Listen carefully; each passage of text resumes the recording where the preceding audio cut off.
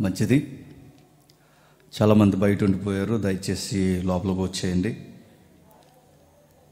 మీరు బయట ఉంటే సరిగ్గా టెన్షన్లో ఉండలేరని నా ఉద్దేశం. దయచేసి బయట బయట ఉన్న వారందరూ లోపలికి వచ్చేయండి. చక్కటి మాటలు పవిత్రమైన ఉద్దేశాలు బైబిల్ యొక్క మౌలిక సూత్రాలు. వీటన్నిటి కొలబద్ద క్రిస్మస్ సందేశం. ఇప్పటి వరకు అన్నయ్య చాలా విలువైన సంగతులు మనకు అందించారు. ఇక మిగిలిన సంగతుల్లోనికి వెళ్ళే ముందు మనం చిన్న ప్రార్థన చేసుకుందాం. ఈ ప్రార్థనలో బయట ఉన్న వారందరూ లోపలికి వచ్చేవాళ్ళని చిన్న మన టైం వేస్ట్ చేయొద్దు లోపలికి రండి. పరలోకమందుడు మా తండ్రి దేవా మీ కుమారుడు తండ్రి తన దైవత్వాన్ని వదిలి మానవుడుగా దీనుడుగా ఈ భూమి మీదకి రావడానికి అంత అత్యవసరం ఎందుకు వచ్చిందో? మా కంటి పొరలను ఓడగొట్టు తండ్రి. పతనమైపోయిన తండ్రి మా జీవితాన్ని తండ్రి. మేల్కొల్పి మీ కుమారుని యొక్క జనన వృత్తాంతాన్ని మరొక్కసారి తండ్రి. మా అందరితో మీరు మాట్లాడండి. దేవా ఈ క్రిస్మస్ హడావిడిలో క్రీస్తును తండ్రి మేము తొలగించక క్రిస్మస్కు అందం అర్థం మీ కుమారుని యొక్క జననం. ఆయన జననం ఎందుకు జరిగిందో తండ్రి గుర్తించకుండానే భక్తిని కొనసాగించడం తండ్రి అది వ్యర్థమైన కాలయాపన. తండ్రి రెండు వేల సంవత్సరాల క్రితం కాలంలో మీ కుమారుడు కలగజేసుకొని మీ సంకల్పానికి నిలువెత్తు రూపంగా తండ్రి మీ కుమారుణ్ణి ఈ భూమి మీదకు పంపించి మోడుబారిపోయిన బీడు భూములు లాంటి మా జీవితాలకు తండ్రి ఒక శుభార్తను తండ్రి మా జీవితాలకు అందించారు. అది మరొక్కసారి నెమర వేసుకొని మా జీవితాలు మీకు ఎంత విరుద్ధముగా ఉండవో మరొక్కసారి మాతో కూడా మీరు మాట్లాడతారని కోరుతున్నాను ప్రత్యక్షంగా పరోక్షంగా వింటున్న వారందరినీ తండ్రి వినగలిగే చెవును గ్రహించగలిగే మనస్సును తండ్రి వారికి అనుగ్రహించి దాని ప్రకారం లోబడి జీవించే భాగ్యాన్ని మా అందరికీ అనుగ్రహిస్తారని కోరుతూ తీస్తున్నామని ప్రార్థన సమర్పిస్తున్నాం తండ్రి. అమేన్ జాగ్రత్తగా విందాం. కొన్ని ప్రాముఖ్యమైన సంగతులు. త్వరగానే ముగించుకునే ప్రయత్నం చేద్దాం. ఈ క్రిస్మస్ను గూర్చి ఇప్పటికీ ఇది మనం అవగాహన వచ్చిన తర్వాత ఇది నాలుగవది అనుకుంటా. ఒకప్పుడు క్రిస్మస్ వాతావరణాన్ని వ్యతిరేకిస్తూ వాతావరణమే ఖండిస్తున్నాం అనుకుంటూ క్రీస్తు యొక్క జననానికి సంబంధించిన గుడ్ న్యూస్ని కూడా ఖండించేస్తాం బాగా వినాలి కల్చర్ తప్పు కంటెంట్ తప్పు కాదు. మీకు అర్థమవుతుందో లేదు. క్రిస్మస్ అడావిడి తప్పు. క్రీస్తు భూమి మీదకి పెట్టిన అడుగు జాడలు జ్ఞాపకం చేసుకోవడం తప్పు కాదు. పండగ చేయమని బైబిల్ ఎక్కడ చెప్పలేదు కానీ ప్రభురాత్రి సంస్కరణలో కూడా చెప్పింది ఏంటంటే ఆయనను ఎల్లప్పుడూ జ్ఞాపకం చేసుకున్నాడు. ఆయనను ఎల్లప్పుడూ జ్ఞాపకం చేసుకుంటున్న మన పర్వదినాలలో పునరుద్ధాన దినాలు ఉన్నాయి ఆయన మరణ దినాలు ఉన్నాయి అలాగే ఆయన యొక్క జనన దినాన్ని గూర్చి పర్టికులర్గా ఈరోజు అని కన్ఫర్మ్ చేసే కన్నా ఆయన పుట్టాడు అన్నదాన్ని వ్యక్తీకరించడం చాలా అవసరం. ఉపయోగించుకోవడం రాని గొడ్డి జనాంగం ఏమన్నారంటే మొత్తం తప్పు అన్నారు. మరొకడు వచ్చి అన్నాడు అది తప్పు ఇది తప్పు అంటే నాస్తికుడు వచ్చి అన్నాడంటే మీరు మొత్తం తప్పురా అన్నాడట. ఇప్పుడు అందరు కలిసి ఎవరిని ఒప్పించాలి? అందుకే బుర్ర తిరిగిడేసాలు మానేసి క్రీస్తు ఎందుకు పుట్టాడన్న న్యూస్ ఇంపార్టెంట్. ఎవడో బయటగా పుకారు షికారు చేస్తూ అన్నాడట క్రీస్తు ఎప్పుడు పుట్టాడో చెప్పండి కారు ఇస్తామన్నాడు కార్లు మనకు అవసరంలా ఏ గిఫ్ట్స్ మనకు అవసరంలా ఆయనే నా కొరకు గిఫ్ట్గా ఈ భూమి మీదకి వచ్చాడు. అది నువ్వు నమ్మితే ఎంత నమ్మకపోతే ఎంత? బైబిల్ బాగా వినండి బైబుల్ అని ఇరవై ఆరు పుస్తకాలలో ఆది కాండం నుంచి ప్రకటన గ్రంథం వరకు కాస్తంత చదివిన అలవాటు మీకుంటే బైబిలు విద్యార్థులుగా మీకు అలవాటు ఉంటే వాక్యం చదివిన తర్వాత బైబిల్కి చివరి పుస్తకం ఏంటి? ఇది పెద్ద జీకే బిట్ కాదు. చెప్పండి. ప్రకటన గ్రంథం. ప్రకటన అంటే ఏంటి? హెచ్చరిక అన్నారు ఏమని హెచ్చరికిస్తుంది ప్రకటన గ్రంథం అంటే జడ్జిమెంట్ ఉందని చెప్పి ముగిస్తుంది గ్రంథం సమప్ చేస్తూ దేవుడు తన వాక్యాన్ని అరవై ఆరు పుస్తకాల యొక్క చివరి పుస్తకం మనకు ఏమని చెబుతుందంటే తీర్పు అనేది ఒకటి ఉంది అని చెప్పి గ్రంథం ముగిసిపోతుంది మొత్తం బైబిల్ చదివిన తర్వాత మనకు వచ్చే డౌట్ ఏంటంటే ర్యాడికల్గా వచ్చే క్వశ్చన్స్ ఏంటంటే దేవుడు తీర్పు తీర్చడం అంత అవసరమా అని మీరు అడిగితే మరలా మీరు ప్రకటన గ్రంథం నుంచి మరలా ఎక్కడి నుంచి స్టార్ట్ చేయాలి? ఆది కాండం నుంచి స్టార్ట్ చేయాలి. దేవుడు మనిషిని శిక్షించడం న్యాయమా అన్న ప్రశ్న మీకు వస్తుంది అంటే బైబుల్ సరిగ్గా మనం చదవలేదన్నమాట. ఎందుకు యేసుక్రీస్తు వారి జననం సొసైటీకి గుడ్ న్యూస్ అయింది అన్న అవుట్లైన్స్ చెప్పారు ఇప్పటి వరకు. నేను అంతే చెప్తా కొత్తదేం చెప్పను కొత్తదేం చెప్తే అది క్రిస్మస్ అవుతుంది అంతే. ఎందుకు సొసైటీకి గుడ్ న్యూస్ అయిందంటే ఏదో ఏదో మానవ జీవితాల్లో నాశనం జరిగింది. తెలిసినట్టుగానే ఉంటుంది. కానీ ఒక్కసారి అర్థంలో మనల్ని మనం చూసుకుంటాం.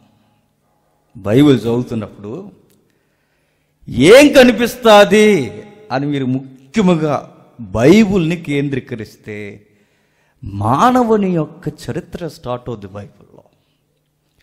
మానవ చరిత్ర స్టార్ట్ అయి స్టార్ట్ అయి అలా చదివే కొలది కాస్తంత ఆలోచన మనకి కలిగితే బైబిల్లో మనిషి ఎలా ఉన్నాడని ఒక ఇమేజ్ను చూపిస్తుందంటే చాలా వికృతమైన మనిషి ఈ భూమి మీద బతుకుతున్నాడని బైబిల్ చెప్పేస్తుంది. అర్థమవుతుందా? దేవుడు జడ్జిమెంట్ చేయడం న్యాయమా అన్న ప్రశ్న న్యాయమా కాదా అని మనం పరిశీలిస్తే బైబిల్ చదివితే మనకు అర్థమయ్యేది ఏంటంటే వికృత ఆకారంలో మనిషి యొక్క జీవన శైలి దోబూచులాడుతూ ముసుకేసుకుంటూ బతికేస్తున్నాడని బైబిల్ చెప్తుంది. మీకు అర్థమయ్యేలాగా కొన్ని పదాలు నేను చెప్తాను జాగ్రత్తగా చూడండి. మనిషి బైబిల్లో ఎలా కనబడుతున్నాడు అని మీరు అడిగితే పతనమైపోయాడని చెప్పాలి. ఎలా అయిపోయాడు పతనం అంటే పతనం అవడమే కాదు దేవునికి దూరం అయిపోయాడు ప్రకృతికి దూరం అయిపోయాడు. ఒక్క మాటలో చెప్పాలంటే తోటి మనుషులతో సఖ్యత కోల్పోయాడు. ఇంకా ముందుకెళ్ళి చెప్పాలంటే తనతో తానే సఖ్యత కోల్పోయాడు. అది మనిషి. మనం ఈజీగా చదివేసుకుంటాం బైబిల్. మానవ యొక్క వికృతమైన చర్యలను బైబిల్ రికార్డ్ చేసింది. అది ఎప్పుడైతే మనం గమనించలేదు ఎదుటోడితో సరిగ్గా మాట్లాడడం మనకు రాదు. ఎప్పుడైతే ఆ ఇమేజ్ని మనం సరిగ్గా చూడలేదో గాస్పల్ అనే దాన్ని సొసైటీకి ఎలా తీసుకెళ్ళాలో మనకు తెలియదు ఎప్పుడైతే ఆ ఇమేజ్ని మనం బైబిల్ నుంచి చూడలేదో మెస్సయ్య యొక్క రాక అంత అత్యవసరమా అన్న ప్రశ్నకు నీ దగ్గర సరైన ఆన్సర్ కూడా ఉండదు. మెస్సయ్య యొక్క ఉనికి నాకు తెలియాలంటే నా ఉనికి ఎలా ఉందో నాకు తెలియాలి. దేవుడు నాకు తీర్పు తీరుస్తాడా అన్న ప్రశ్న నాకు వస్తే ఎందుకు తీర్పు తీరుస్తాడు అన్న ప్రశ్న వెనక నాకు ఆన్సర్ కూడా ఉండాలి. బైబిల్ ఊరకే కవులందరూ కూర్చొని ఏ పదాలు వాడాలి ఏది రాస్తే బాగుంటుందని రాసిన గ్రంథం కాదు ఇది. రాసిన వారిలో రైతులు ఉన్నారు రాసిన వారిలో రైటర్స్ ఉన్నారు. రాసిన వారిలో రాజరికపు వ్యవస్థకు సంబంధించిన వారు ఉన్నారు రాసిన వారిలో ట్యాక్స్ కలెక్టర్లు ఉన్నారు రాసిన వారిలో డాక్టర్లు ఉన్నారు రాసిన వారిలో థియాలజీ ఎరిగిన ఫిలాసఫర్స్ ఉన్నారు. రాసిన వారిలో పామర్లు కూడా విద్యను అభ్యసించి సొసైటీకి ధీటైన వాక్యాన్ని ఇచ్చి రికార్డ్ చేశారు. గవర్నర్స్ ఉన్నారు. రాజుల కుటుంబానికి సంబంధించిన వారు. ఒక్కరా ఇంతమంది కలిసి దేవుని చేత ప్రేరే ప్రేరేపింపబడి వందల వందల వందల వందల సంవత్సరాలు నడిచి నడిచి నడిచిన చరిత్రను రికార్డ్ చేశారు ఆయా రోజుల్లో ఆయా కాలాల్లో ఆయా జీవితాల్లో ఆయా నాగరికతల్లో. అది బైబిల్. ఇదందరూ కూర్చొని సభ పెట్టుకొని ఇప్పుడు శేఖర్ అని కానీ అర్జున్ అని కానీ నేను కానీ సుధీర్ కానీ సురేష్ కానీ ఇంకా ఎక్సెట్రా ఎక్సెట్రా ఎవరైతే ఉన్నారో అందరం కూర్చొని ఏం రాస్తే బాగుంటుంది భయ్య అని కూర్చుని రాసిన లాంటిది కాదు ఇది. అందరం బతుకున్నాం కనుక ఒకే ఊరికి ఒకే పరిసర ప్రాంతాలకు సంబంధించిన వారం కనుక ఏదైనా చేయాలనుకున్నప్పుడు ఒకే భావజాలం కలిగిన వారం కనుక కొన్ని లెక్కలేసుకుంటాం అందరూ ఆలోచన ఒక తాటి మీదకి వచ్చి చేయాలనుకుంటాం. కానీ బైబిల్ అలాలే ఒకరు వందో శతాబ్దంలో పుడితే మరొకరు ఉదాహరణకి చెప్తున్నా. ఒకరు వందేళ్ళలో పుడితే మరొకరు మూడు వందల్లో పుట్టారు. ఒకరు మూడు వందల్లో పుడితే మరొకరు ఆరు వందల్లో పుట్టారు. ఒకరికి ఒకరికి సంబంధమే లేదు. ఒకరికి ఒకరికి సంబంధం లేకపోయినా దీని మెయిన్ రైటర్ మాత్రం వీళ్ళందరితో సంబంధం ఉంది. ఎవరా మెయిన్ రైటర్ పరిశుద్ధాత్ముడు. ఆయన చెప్పాడు మానవ బతుకులు ఎలా పతనమైపోయాయో ఎలా పతనం అయిపోయాయో నాకు అర్థమైతే నేనేంటో నాకు బాగా అర్థమవుతుంది నేనేంటో నాకు బాగా అర్థమైతే నా ఎదుటోడు ఏంటో నాకు బాగా అర్థమవుతుంది నేనేంటో నాకు బాగా అర్థమైతే నా కుటుంబం ఏంటో నాకు బాగా అర్థమవుతుంది నేనేంటో నాకు బాగా అర్థమైతే ఇంకా చెప్తున్నాను నేను ఎందుకు దేవుడి మీద అనుకోవాలి ఇంకా బాగా అర్థమవుతుంది చూద్దాం బైబిల్లో మరలా పాయింట్స్. పతనమైపోయిన మనిషి దేవునికి దూరం అయిపోయాడు వికృతమైన చర్యలు చేస్తూ ప్రకృతికి దూరం అయిపోయాడు దేవునితో సఖ్యత కోల్పోయాడు. తోటి మనుషులతో సఖ్యత కోల్పోయాడు. ఒక్క మాటలో చెప్పాలంటే తనతో తానే సరి అయిన సఖ్యత లేకుండా బతికేస్తున్నాను లే అనుకుంటూ మనిషి బతికేస్తున్నాడు. ఎలా ఉన్నాడు మనిషి అని మీరు బైబిల్ని అడిగితే బైబిల్ ఒక రాడికల్ స్టేట్మెంట్ ఇచ్చింది. చూద్దాం ఒకసారి. జర్మియా ఆర్ ఎర్మియా పదిహేడవ అధ్యాయం. తొమ్మిదవ వచ్చిన ఎర్మియా గ్రంథం పదిహేడవ అధ్యాయం. తొమ్మిదవ వచ్చిన హృదయము అన్నిటికంటే మోసకరమైన అది ఘోరమైన వ్యాధి కలది. ఎన్నిసార్లు చదివేసామండి ఇది? పసితనం నుంచి స్కూల్ బోర్డుల దగ్గర నుంచి చర్చి బోర్డుల వరకు ఎన్నోసార్లు చదివాం. ఎన్నో మార్లు విన్నాం. కొంచెం అటెన్షన్ ప్లే చేసి మళ్ళీ వింటాం. ఏమని చెప్తుంది బైబిల్? మనిషట వాని హృదయము అన్నిటికంటే మోసకరమైనది. అది ఘోరమైన వ్యాధి కలది. దాన్ని గ్రహింపగలవాడు ఎవడు? ఒక ఏళ్ళు ఉన్న తర్వాత బాగా వినండి. లెప్పర్సీ అని ఒక డిసీజ్ ఉంది. కృష్టి వ్యాధి. ఏలుగు వచ్చింది అనుకోండి ఏలు పోతుంది. ముక్కుకు వచ్చింది అనుకోండి ముక్కు పోయి లొట్ట ఉంటుంది. చెవికి వచ్చింది అనుకోండి చెవి పోతుంది. ఏ అవయవానికి కృష్టి వ్యాధి వస్తే అవయవం పోతుంది. కృష్టి వ్యాధి కన్నా కనబడిన ఒక వ్యాధి ఉందట. అది దేనికి పట్టిందట? హృదయానికి పట్టిందట. ఇది ఏ డాక్టర్లకి తెలియదట. ఎవ్వడికి కనబడదట. అది ఎలా ఉంటుందంటే అది వ్యాధే కానీ వ్యాధిలా కనబడదట. అది ఏ స్కానింగ్లో దొరకదట. ఎక్కడా కనబడదట. ఇంటి దీని గూర్చి సృష్టించిన వాడు తప్ప ఏ స్పష్టము మాట్లాడగలదు చెప్పండి బైబిల్ ఏమని చెబుతుందో మరలా మరలా చదువుదా ఒకసారి. హృదయము అన్నిటికంటే మోసకరమైనది. అది ఘోరమైన వ్యాధి కలది ఘోరమైన వ్యాధి కలది నాకు ఈ వ్యాధి ఉందని హృదయానికి వ్యాధి పట్టిందని డాక్టర్ గారి దగ్గరికి వెళ్ళిన డాక్టర్ గారు చెప్పరండి. ఎందుకు చెప్పిన? డాక్టర్ కూడా రోగం ఉందన్న సంగతి డాక్టర్ గారికి కూడా తెలియదట ఇది సరిగ్గా భోజనం చేయకపోతానో నిద్రపోబోతానో సరిగ్గా నీళ్ళు తాగకపోతేనో ఇంకా చెప్పండి మంచి ఫుడ్ తీసుకోకపోతానో వచ్చేది కాదు ఇది. ప్రతి మనిషి స్వభావంలో ఇంకిపోయి జీర్ణించుకుపోయి మనిషి పైకి దేమాగా బతికేస్తున్నాడట. జాగ్రత్తగా వినండి మనకు మనమే కనబడతాం. మనకు మనమే కనబడినప్పుడు మనకు అర్థం అవుతుంది నేను దేవునికి దేనికి పనికొస్తానంటే దేవుని ఉగ్రతకు తప్ప దేనికి పనికిరానని బాగా అర్థమవుద్ది మనకి. మరలా. పేరుకు హృదయమే కానీ ఆ హృదయం వ్యాధి గల హృదయం అట పేరుకు హృదయమే కానీ అది చెడిపోయిన హృదయం అట పేరుకు హృదయమే కానీ పనికిరాని హృదయం ఎందుకు అలా అయిపోయింది? దానికి భయంకరమైన ఘోరమైన మోసకరమైన వక్రమైన వ్యాధి తట ఇప్పుడు నేను అడుగుతున్నాను. ప్రపంచాన్ని చూసి మనం ఇలా అన్నాం. ఏమని? ఎవరు నమ్మకండి అందరూ ఏం చేస్తారట? మోసం చేస్తారు. నిజమే. అది తర్వాత.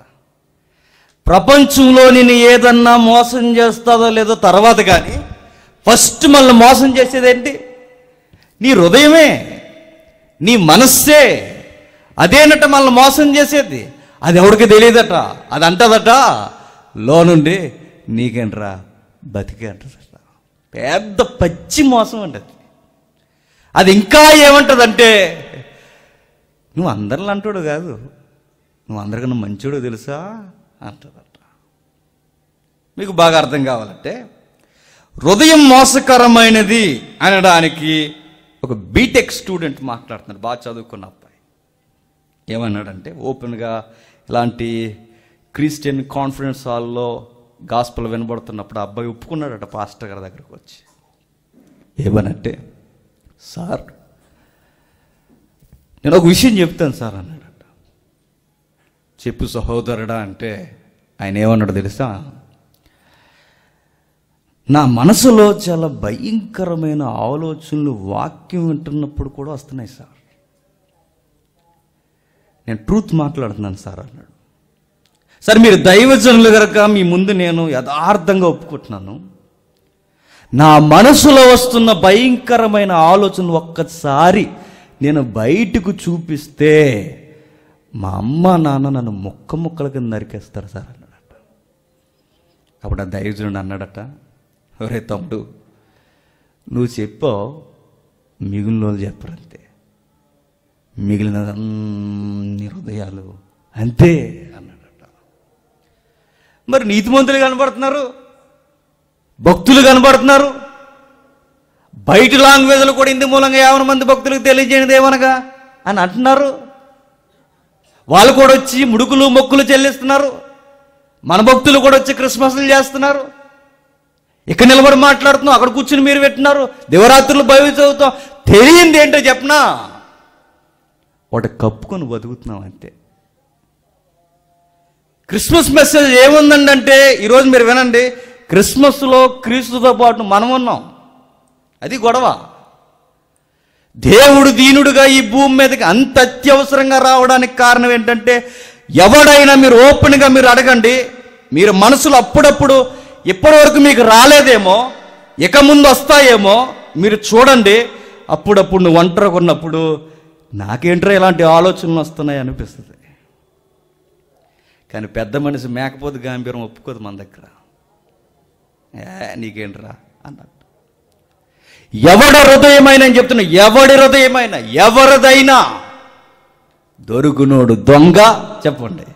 దొరకనోడు తెలుగోడి సామెత దొర అంతే ప్రతి ఒక్కడు గుండెల్లో ఉన్నది ఏంటో చెప్పిన దోబూచులాడేది పతనమైపోయిన మానవ హృదయం. కుమిలిపోయిన మానవ హృదయం ఘోరమైన మోసకరమైన వ్యాధితో భయంకరమైన వ్యాధితో బతికేస్తున్నామట. సినిమా స్టార్లు సినిమా కవులు ఏమన్నారు చెప్పనా నీ మనసు చెప్పించేయి అన్నారు. బైబిల్ ఏమంది? నీ మనసు నమ్ముకో సినిమా స్టార్లు ఏమన్నారు రచయితలు గుండెల మీద చెయ్యేసుకుని నీ మనసులో ఏదనిపిస్తే అది చెయ్యన్నారు కానీ బైబిల్ ఏమంది? దాని మాట అస్సలు నమ్మకరా అయ్యా అంతే కానీ మేధావులు ఏమన్నారు చెప్పండి? నీకేది తోస్తుంది చేసే నీకేదనిపిస్తుంది చేసే అక్కడికి ఎక్కువ దూకేయాలనిపిస్తే దూకే తిరిగేయాలనిపిస్తే తిరిగే నీ మనసుకు నచ్చిందల్లా చేసే అన్నారు. కానీ బట్ బైబిల్ ఏమందో తెలుసా? ఒరే దాని మాట విన్నావో? నిన్ను మోసం చేసేది పొరుగోడు కాదు. నిన్ను మోసం చేసేది నీ కట్టుకున్నది కాదు. నిన్ను మోసం చేసేది నీ ప్రియురాలు కాదు. ఇవన్నీ సెకండరీ నిన్ను మోసం చేసేది మీ ఆఫీసర్ కాదు. నిన్ను మోసం చేసేది నీ నైబర్ కాదు. నిన్ను మోసం చేసేది నీ హృదయమే. అది నీకు చెబుతుంది నీకెందుకు భయ్యా? నేను ఉన్నా అంటదట. దిల్ అందట దిమాకు బాణం దిల్ అన్నదట. దిల్ అంటే ఏంటి? దిల్ అందట మస్తు కుసి ఎంజాయ్ చేయి బాయ్ అందట. సాంగ్స్ వచ్చాయి రచనలు వచ్చాయి తిరగమన్నారు. అప్పుడెప్పుడో నా చిన్నప్పుడు సాంగ్ విన్నాను. పిచ్చి పిచ్చికి నువ్వు నా సాంగ్ అది. నా హృదయం నా దగ్గర ఉండలేదు నీ చుట్టే తెగ తిరిగేస్తుంది అన్నట్టు. ఉండదు అది. ఏమైంది? ఇవన్నీ ఏంటి చెప్పిన? కనబడుతున్న రంగులు మనకు పూచింది పతనం అయిపోయింది మానవ మానవ ప్రపంచం అంతే. ఇలాంటి పతనం అయిపోయింది ఎవరిదండి? ఆదాముదైనా ఆదాము దగ్గర నుంచి వచ్చిన ఏ మనుషుడిదైనా యేసుక్రీస్తు వారు తప్ప భూమి మీదకి వచ్చిన ప్రతి మనిషి ఎలా ఉన్నాడని బైబిల్ డైరెక్ట్ రాడికల్ స్టేట్మెంట్ ఏమిచ్చిందంటే ఫెయిల్యూర్ అయిపోయారు మీరు అందరూ అన్నదంతే పాడైపోయారు మీరందరూ నాశనం అయిపోయారు మీరందరూ.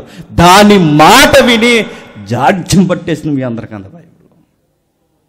కనిపించకుండా భక్తి వేషం వేసుకుని కనిపించకుండా మంచి వేషం వేసుకుని కనిపించకుండా పెద్ద వేషం వేసుకుని కనిపించకుండా స్త్రీ వేషం వేసుకుని కనిపించకుండా పెద్దరిక వేషాలు వేసుకుని తిరిగేస్తున్నాం మనం.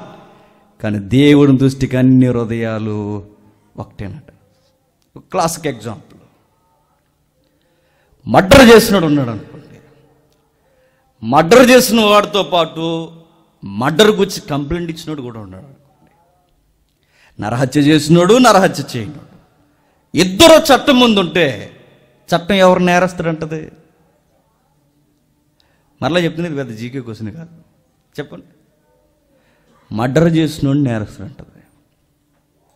చట్టానికి నేరస్తుడు నేరం చేస్తూ నేరస్తుడు కనబడ్డాడు మర్డర్ చేసినోడు మర్డర్ చేయనోడు సీన్లో ఉంటే ఇద్దరు నేరస్తులు అన్నాడట ఎవరు? దేవుడు. ఎందుకు? వీళ్ళ సిన్ అనేది బయట కనబట్ల. వీళ్ళ పాపం అనేది హృదయానికి పట్టేసింది. ఈడు చేసి బయటపడ్డాడు ఈడి చెయ్యకి బయట ఇంకా పడలేదు. ప్రతి ఒక్కడు ఏదో ఒక రోజు పడతాడు. మానవ హృదయానికి పడనవాడంటూ ఎవడు లేడని బైబిల్ చెప్పేసింది. నిజంగా ఇవే మీకు అర్థమైపోతే మెస్సయ్యను ముద్దాడడం కాదండి. మెస్ పుట్టినందుకు గుడ్ న్యూస్ని పట్టుకుని మనం చెప్తాం. గంతులయ్యాలా అరవాలా ఆయన కూర్చుని నేను ఏం చేయాలని నాకు అర్థం అవుతుంది ఇలా పతనం అయిపోయిన మనిషట మంచి పనులు చేయాలనుకున్నాడట. అర్థమవుతుందా? మనిషి హృదయం అంతా పతనం అయిపోయింది పాడైపోయింది నాశనం అయిపోయాడు అందరూ ఒక్కటే ఏ భేదం లేదు. అందరూ పనికి మాలలో అంత బయట ఈ పనికి మాల స్వభావం కలిగిన మనం అందరం మరలనుకున్నామంట అనుకున్నామంట అని చెప్పుకోవడానికట దాన ధర్మాలు భోజనాలు ఇంకా చెప్పండి. మంచి క్రియలు డబ్బులు పంచడాలు దుప్పళ్ళు పంచడం తప్పని అంటలా దీనికి ఒక క్లారిటీ ఉంది. ఇలా చేస్తూ మనం అన్నామట పది మందికి భోజనాలు అట్టి మనసు అందట చాలా మంచిడు అయిపోయావురా అందట. అంతేనంటావా? అన్నాడట. మరి ఇంకేంటి మరి అన్నదట. అంతేనా అని ప్రశాంతంగా నిద్రపోయాడు. ఈరోజు పదికే ఫీలింగ్ ఇలా ఉంటే రేపు వంద వేసుకుందాం అనుకున్నాడట. ఆ తర్వాత భోజనాలు పెడుతూ తెగ ఫీల్ అయిపోతున్నారట. ఒక రోజు మనిషి భోజనాలు పంచి బట్టలు పంచి అన్నీ పంచి దేవా మంచి పనులు చేశాను. నీ దృష్టికి నేను ఎలా ఉన్నాను? ఈ మంచి పనులను బట్టి అని బైబిల్ని అడిగితే బైబిల్ ద్వారా దేవుడు అన్నాడు రే నీ క్రియలు మురికి గుడ్డల్లా ఉన్నాయిరా. చూద్దాం ఒకసారి. ఒక లుక్ వేసి వద్దాం మనయే స్టేట్మెంట్లన్నీ ఎవరియో కాదు. యశ్యా గ్రంథం అరవై నాలుగవ అధ్యాయం. యశ్యా గ్రంథం అరవై నాలుగవ అధ్యాయం ఆరు వచ్చిన మేమందరము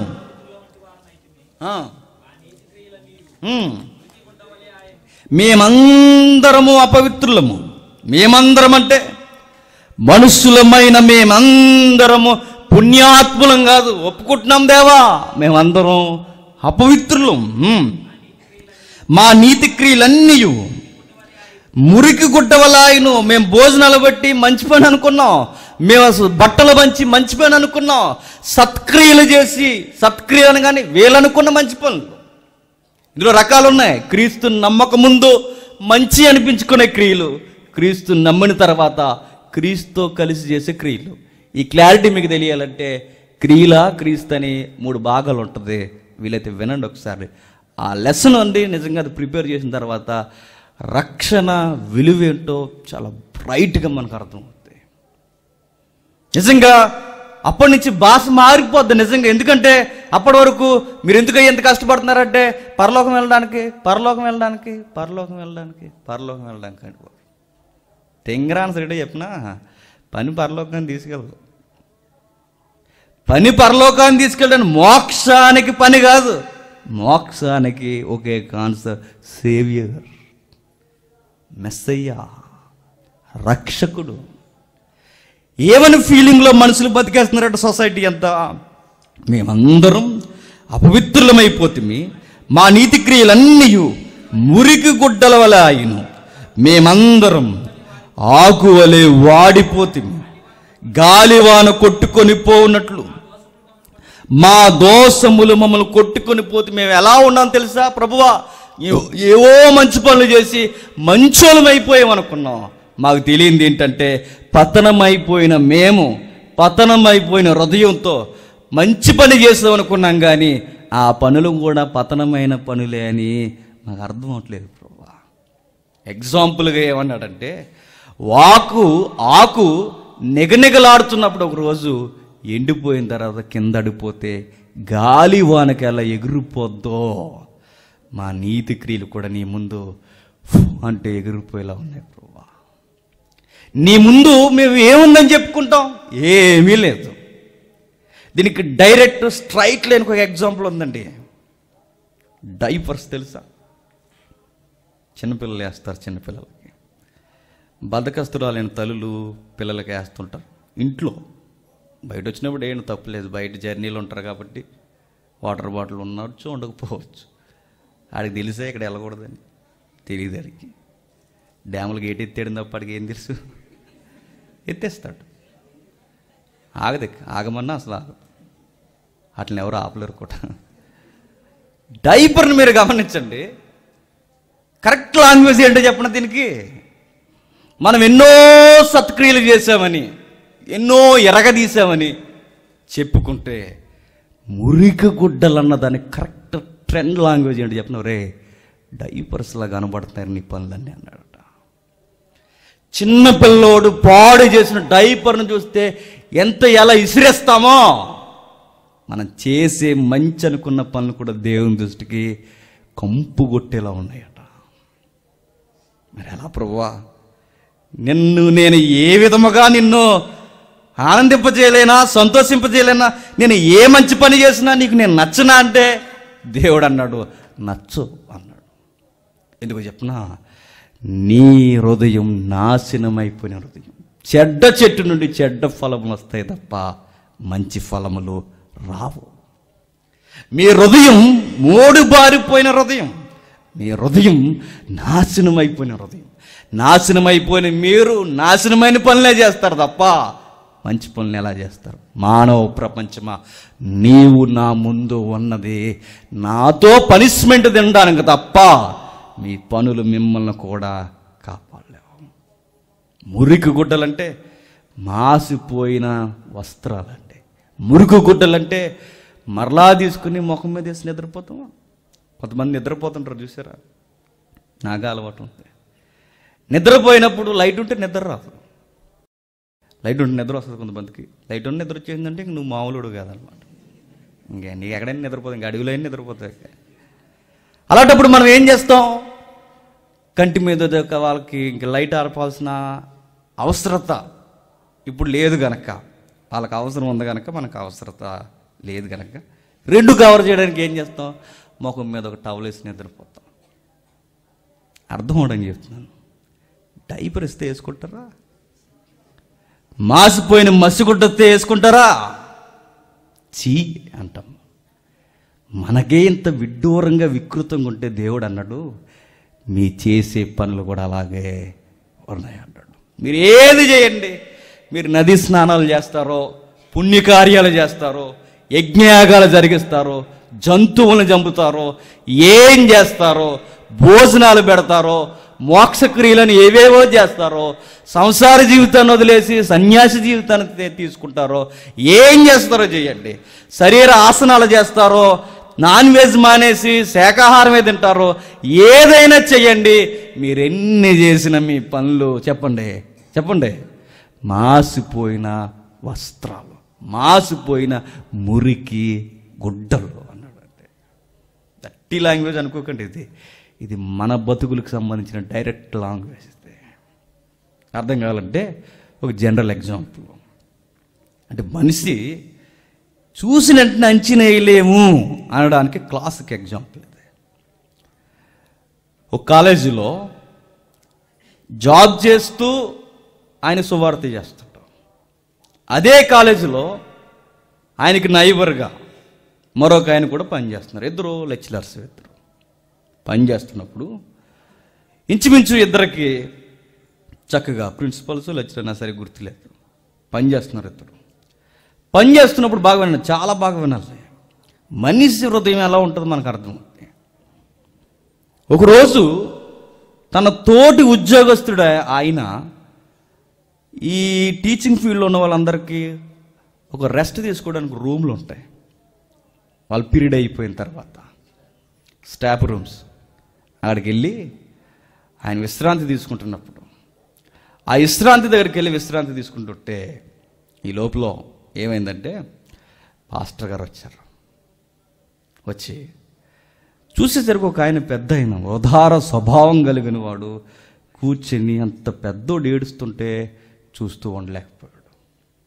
సార్ మీరు ఏమనుకుందంటే ఒక మాట అడుగుతాను. మీరు ఏడవడం ఏంటండి? ఎందుకు ఏడుస్తున్నారు? అని అడిగాడు. ఈయన క్రైస్తవుడు.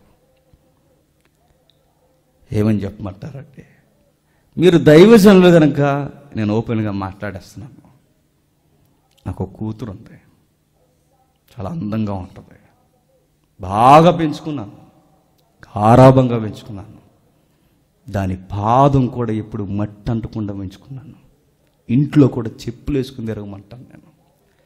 నా కూతురు ఏంటి అని అడిగితే నేను చెప్తాను నా కూతురు నా ఊపిరి అంటాను. ఎంత బాగా పెంచుకున్నాను నా కూతుర్ని. కానీ ఇప్పటికి వారం అవుతుంది. నా కూతురు ఆటో వాడితో లేచిపోయింది. బీటెక్ ఫైనల్ ఇయర్ చదువుతుందండి నా కూతురు. ఇక రెండు మూడు నెలల్లో తన స్టడీ అయిపోద్ది. బీటెక్ ఫైనల్ ఇయర్ చదువుతున్న నా కూతురు ఆటో డ్రైవర్తో లేచిపోయింది. ఏం చెప్పనండి నా తోటి ఉద్యోగస్తులకి. అందుకే కూర్చొని ఏడుస్తున్నాను. దైవజనుడికి ఏం చెప్పాలో అర్థం లేదు. దైవజనుడికి ఒక విషయం తెలుసు. ఎందుకు? అందరి హృదయాలు ఒక్కటే అని. ఆ తండ్రికి తెలియంది ఏంటంటే నా కూతురు మౌనంగా ఉంటుంది నా కూతురు అందంగా ఉంటుంది నా కూతురు ఇంటి దగ్గర తల దించితే మరలా ఎక్కడ తల ఎత్తుతుంది? కాలేజీలో ఎత్తుతుంది. మళ్ళీ కాలేజీలో దించితే ఇంటి దగ్గరే తలది మళ్ళీ తల ఎత్తుతుంది. ఇంకెక్కడ తల ఎత్తదో నా బెడ్లో అనుకుంటాం మనం. మా కూతుర్లు మా కొడుకులు అనుకుంటాం మనం.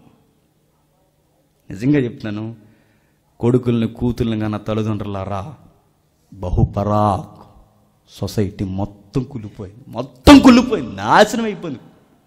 మీ పిల్లల్ని బయటికి పంపిస్తున్నారంటే సింహపు నోట్లోకి పంపిస్తున్నారన్న సంగతి మర్చిపోయింది చదువులకి వెళ్తున్నారు అనుకుంటాం మనం. ఎరగదీసేస్తాను నిజంగానే ఎరగదీస్తారు. ఒకరోజు ఆ తర్వాత అర్థం బాగా ఎరగదీశారండి. వెళ్ళిన తర్వాత వచ్చారు ఆయన. ఏం చెప్తాడు ఆయన ఇలా అన్నాడు. సార్ మీరేమనుకున్నట్టే ఎప్పటికైనా కూతురికి పెళ్ళి చేయాలి కదండి. బహుశా మీ కూతురికి అబ్బాయిలు ఏమైనా మంచితనం నచ్చిందేమో. స్టేటస్ చూడకుండా ఆయనైనా సహసరుడు అనుకుని వెళ్ళిపోయింది కదా. మీరే పెద్ద మనసు చేసుకోండి. మీరు టీచింగ్ ఫీల్డ్లో ఉన్నారు కనుక మీకేమైనా నామోసీగా ఉంటే కాస్త డబ్బు ఇచ్చి ఆయనకి బిజినెస్ పెట్టి మీరు కూడా ఏం చేస్తారంటే అల్లుడిగా చేర్చుకోండి. కూతురి ఇష్టం కన్నా ఇంకేముంటుందండి అని చెప్పాడు ఆయన. దైవజనుడి కాడ బాగానే చెప్పాడని ఆ మాటలు విని ఆయన వెళ్ళాడు. వెళ్ళే ముందు ఫోన్ వచ్చింది. డాడీ ఇప్పటికి మేము వచ్చి ఇన్ని రోజులు అవుతుంది. మేము పలానా హోటల్లో ఉన్నాం. మమ్మల్ని వచ్చి రిసీవ్ చేసుకోండి. మీరు ఒప్పుకుంటే మీ ముందే మేము పెళ్ళి చేసుకుంటాం అని చెప్పారట. సరే అయితే అమ్మ మీరు ఎక్కడికి వెళ్ళకండి. మరలా ఇంకెక్కడికి పరారవ్వకండి నేను వస్తున్నా అని చెప్పి తండ్రి వెళ్ళాడు. రూమ్ నెంబర్ చెప్పారు. బాగా వినండి. డోర్ కొట్టాడు. డోర్ కొట్టిన తర్వాత ఒకడు గలలింగి కట్టుకొని ఒకప్పుడు చుక్కలు చుక్కలు బనేళ్ళు అమ్మేవారు గుర్తుందా? కన్నాల కన్నాల బనేళ్ళు అలాంటి పశువు బనీలు ఒకటి వేసుకొని కిల్లి నవ్వులుకుంటూ బయటకు వచ్చాడట. సరే ఇక్కడ నా ఏం కావాలి? అని అడిగాడు అట్టాడు ఏం కావాలి కదండి ఇక్కడ? ఎలవా ఎక్కడికి వచ్చేయండి అన్నాడు అట్టాడు సరే అది కదండి. ఆ నోటి నుండి వస్తున్న వాసన మాస్టర్ భరించలేక పోయి వాష్రూమ్కి పోయి మొహం కడుక్కొని ఆడు వాసన భరించలేక మరలా వామిటింగ్ అయ్యే పరిస్థితి వస్తే మరలా వచ్చి అదే రూమ్ని కొట్టి కొడుతూ కొడుతున్నప్పుడు ఈ వాయిస్ లోపల ఉన్న వ్యక్తిని మా డాడీ వచ్చేలో ఉందని బయటకు వచ్చి ఈ పాపం చూసేసరికి పాపందట. డాడీ నేను ప్రేమించిన అతను ఇతని అందట. తండ్రికి మతిపోయిందండి. నా కూతురు అందం ఏంటి నా కూతురు చదువేంటి? నా కూతురు స్థితిగతులేంటి? దాన్ని ఎంత బాగా పెంచాను నేను? ఇంత ఎలా పెంచితే వీడు నాకే నచ్చలేదు? దీనికి ఎలా నచ్చాడు అనుకున్నాడు. నేను చెబుతున్నాను నేను మరలా అడుగుతున్నాను. ఆ అమ్మాయిని కన్న తండ్రి ఎప్పుడు అనుకోలేదు నా కూతురు ఇలాంటి పని చేస్తుందండి. కన్న తండ్రి. కన్న తండ్రే నా కూతురు ఇలాంటి పని చేస్తుంది అనుకోకపోతే మానవ హృదయాలు పైకి కనబడినంత ఘోరాతి ఘోరమైన అనడానికి ఇంతకన్నా ఎగ్జాంపుల్స్ ఏం కావాలి చెప్పండి. ఇంతకన్నా ఎగ్జాంపుల్స్ ఏం కావాలి? మౌనంగా ఉన్నంత మాత్రాన మంచోళ్ళు కాదు. ఎగిరెగిరి పడిపోతున్నంత మాత్రం చెడ్డోళ్ళు కాదు. చక్కగా సూట్ వేసుకున్నంత మాత్రాన రైమండ్లా వాడు కూడా సూపర్ మ్యాన్ కాదు. ఎవడు ఏంటన్నది మనం అస్సలు చెప్పలేం.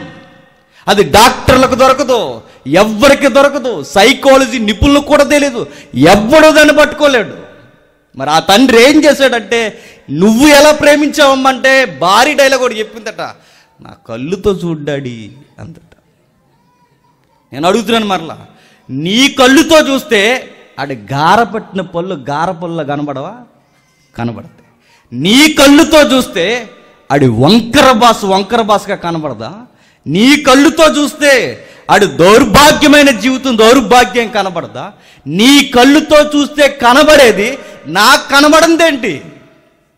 వీళ్ళిద్దరి మధ్య పరిపక్వత లేని మాట ఏంటంటే అమ్మా నీ హృదయం నిన్ను మోసం చేసిందన్న మాట ఆ తండ్రి చెప్పలేడు. ఎందుకో చెప్పినా? ఆ తండ్రికి బైబిల్ తెలియదు కనుక.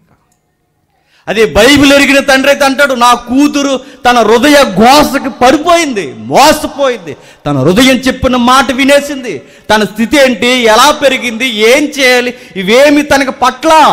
ఇలా అయిపోయిందంటే కారణం ఏంటంటే హృదయం ఘోరాతి ఘోరముగా నా తల్లిని నా కూతుర్ని నాశనం చేసేసింది.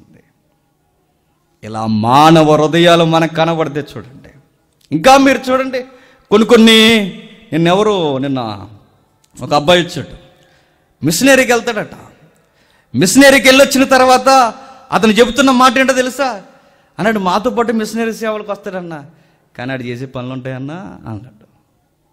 మరి మిషనరీకి వస్తాడా అంటే వస్తాడు. మిషనరీ మిషనరీయే చెప్పండి. పనులు పనులే. నేను చెప్తున్నాను అందరూ ఎందుకు ఇలా ఉంటున్నావు? అరే ఒక బైబిల్ బోధించేవాడు ఎలాగుండే? బైబిల్ వినేవాడు ఎలాగుండే?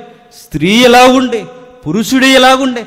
మనం అందరం ఎందుకు ఇలా ఓడిపోతున్నామంటే సిగ్గు లేకుండా ఒప్పుకోవలసిన మాట ఏంటి చెప్పండి? మన హృదయాలు ఘోరమైన వ్యాధి కలిగినవి. ఘోరాతి ఘోరమైన వ్యాధి కలిగినవి. దాన్ని తెలుసుకున్నట ఎవ్వడి వల్ల ఎవ్వడి వల్ల అవుతాట అంతే. ఎప్పుడైతే తన కూతురి లాంటి సెలక్షన్ చేసుకుందనుకున్నాడో కూతురి మీద నిండు ఆశలు పెట్టుకున్న తండ్రి కూడా చి నువ్వు వద్దు నువ్వు వద్దు ఈ అల్లుడు వద్దు పోయి ఇద్దరు గోదావరిలో పడి సావండని వచ్చాడు. వాడే భరించలేకపోయాడే శారీరకమైన తండ్రిని. తండ్రే వాడిని భరించలేకపోయాడే. ఇంత ఘోరాతి ఘోరమైన శ్మశానం లాంటి కుళ్ళి కుతంత్రం అంత గుండెల్లో హృదయంలో పెట్టేసుకున్న మనం దేవుని దృష్టికి ఎలా కనబడతామంట ఆ గల్లలింగి వాడికన్నా దారుణంగా కనబడతామంట. ఆ చుక్కలు చుక్కలు బనేలు వేసుకున్నాడు ఆడికన్నా దారుణంగా కనబడతామంట. వాడికి పొల్లే కనబడ్డాయి. బైబిల్లో రాయబడిన మాట ఏంటి నెడి నెడినెత్తి మొదలుకొని అరికాలు వరకు. చూద్దాం ఒకసారి ఆ రెఫరెన్స్ చూద్దాం చూద్దాం. యశ్య గ్రంథం. మొదటి అధ్యాయం. యెషయా గ్రంథం మొదటి అధ్యాయం. ఐదు ఆరు వచ్చినారు.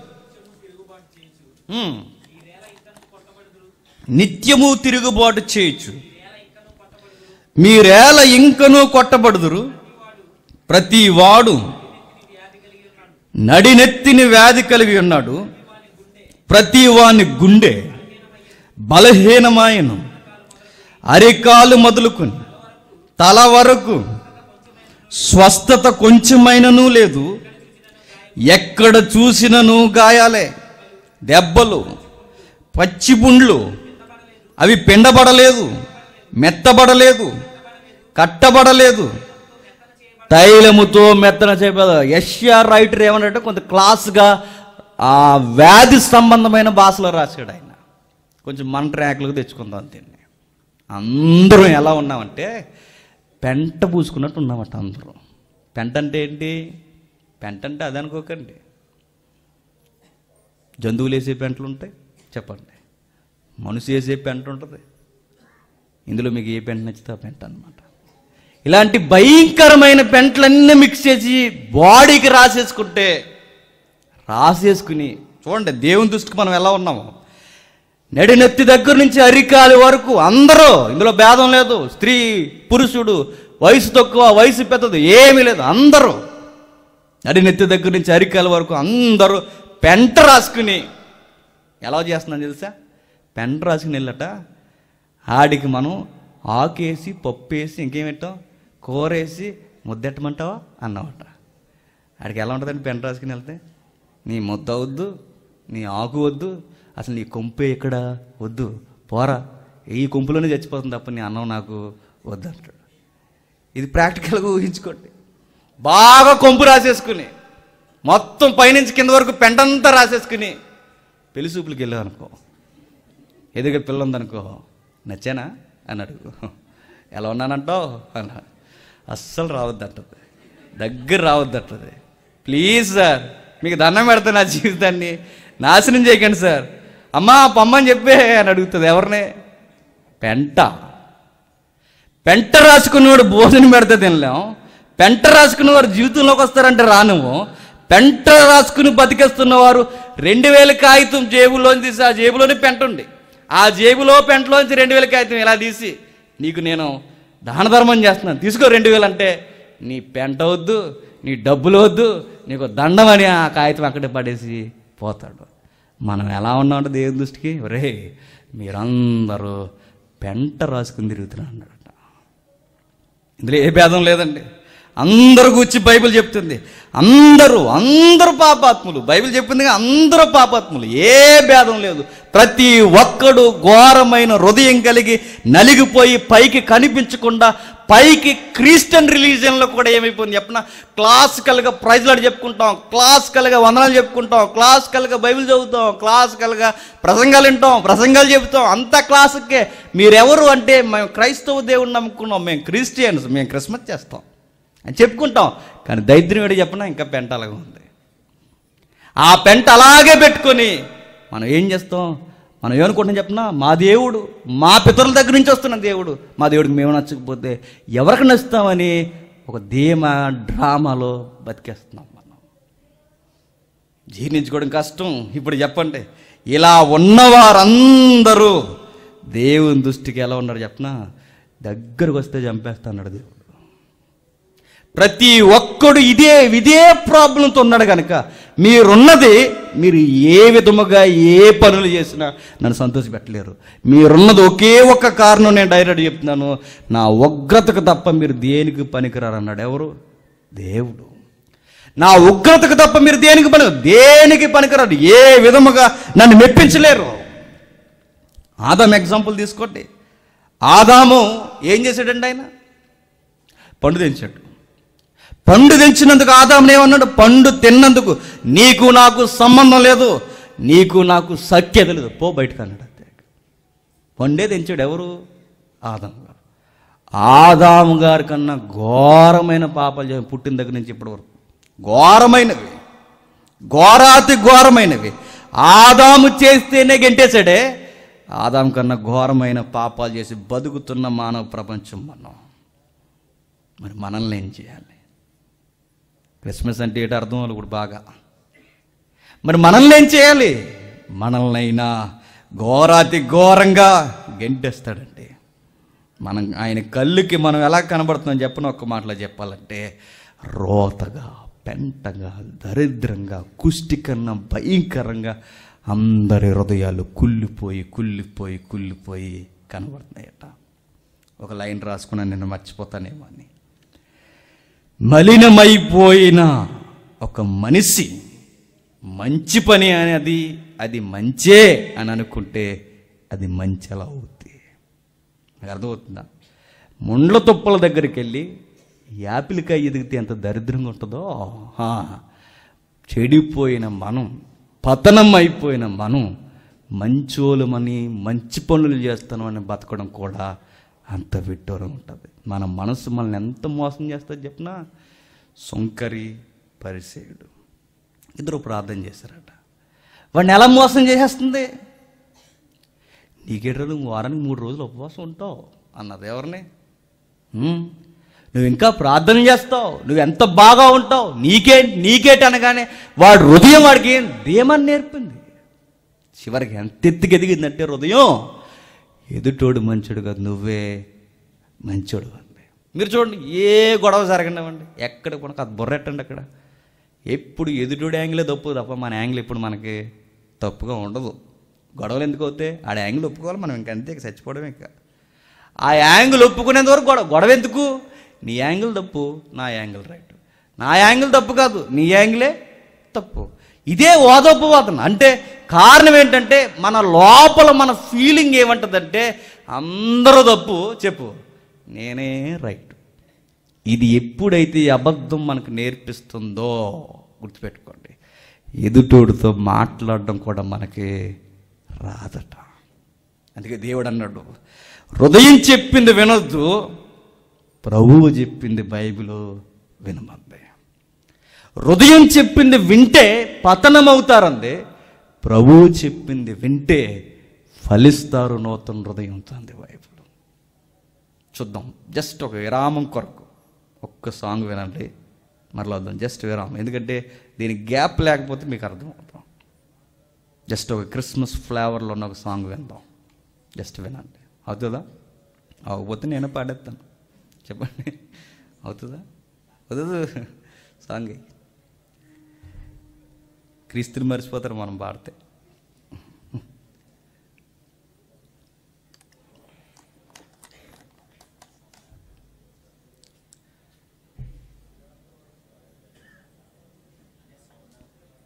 సౌండ్. ఓకే. లేడనుకుంటా. సర్లే. దొంగతనం చేసేవాడు కూడా అంటాడట దొంగతనం చేస్తూ. వాడు ఏమనుకుంటాడు చెప్పనా?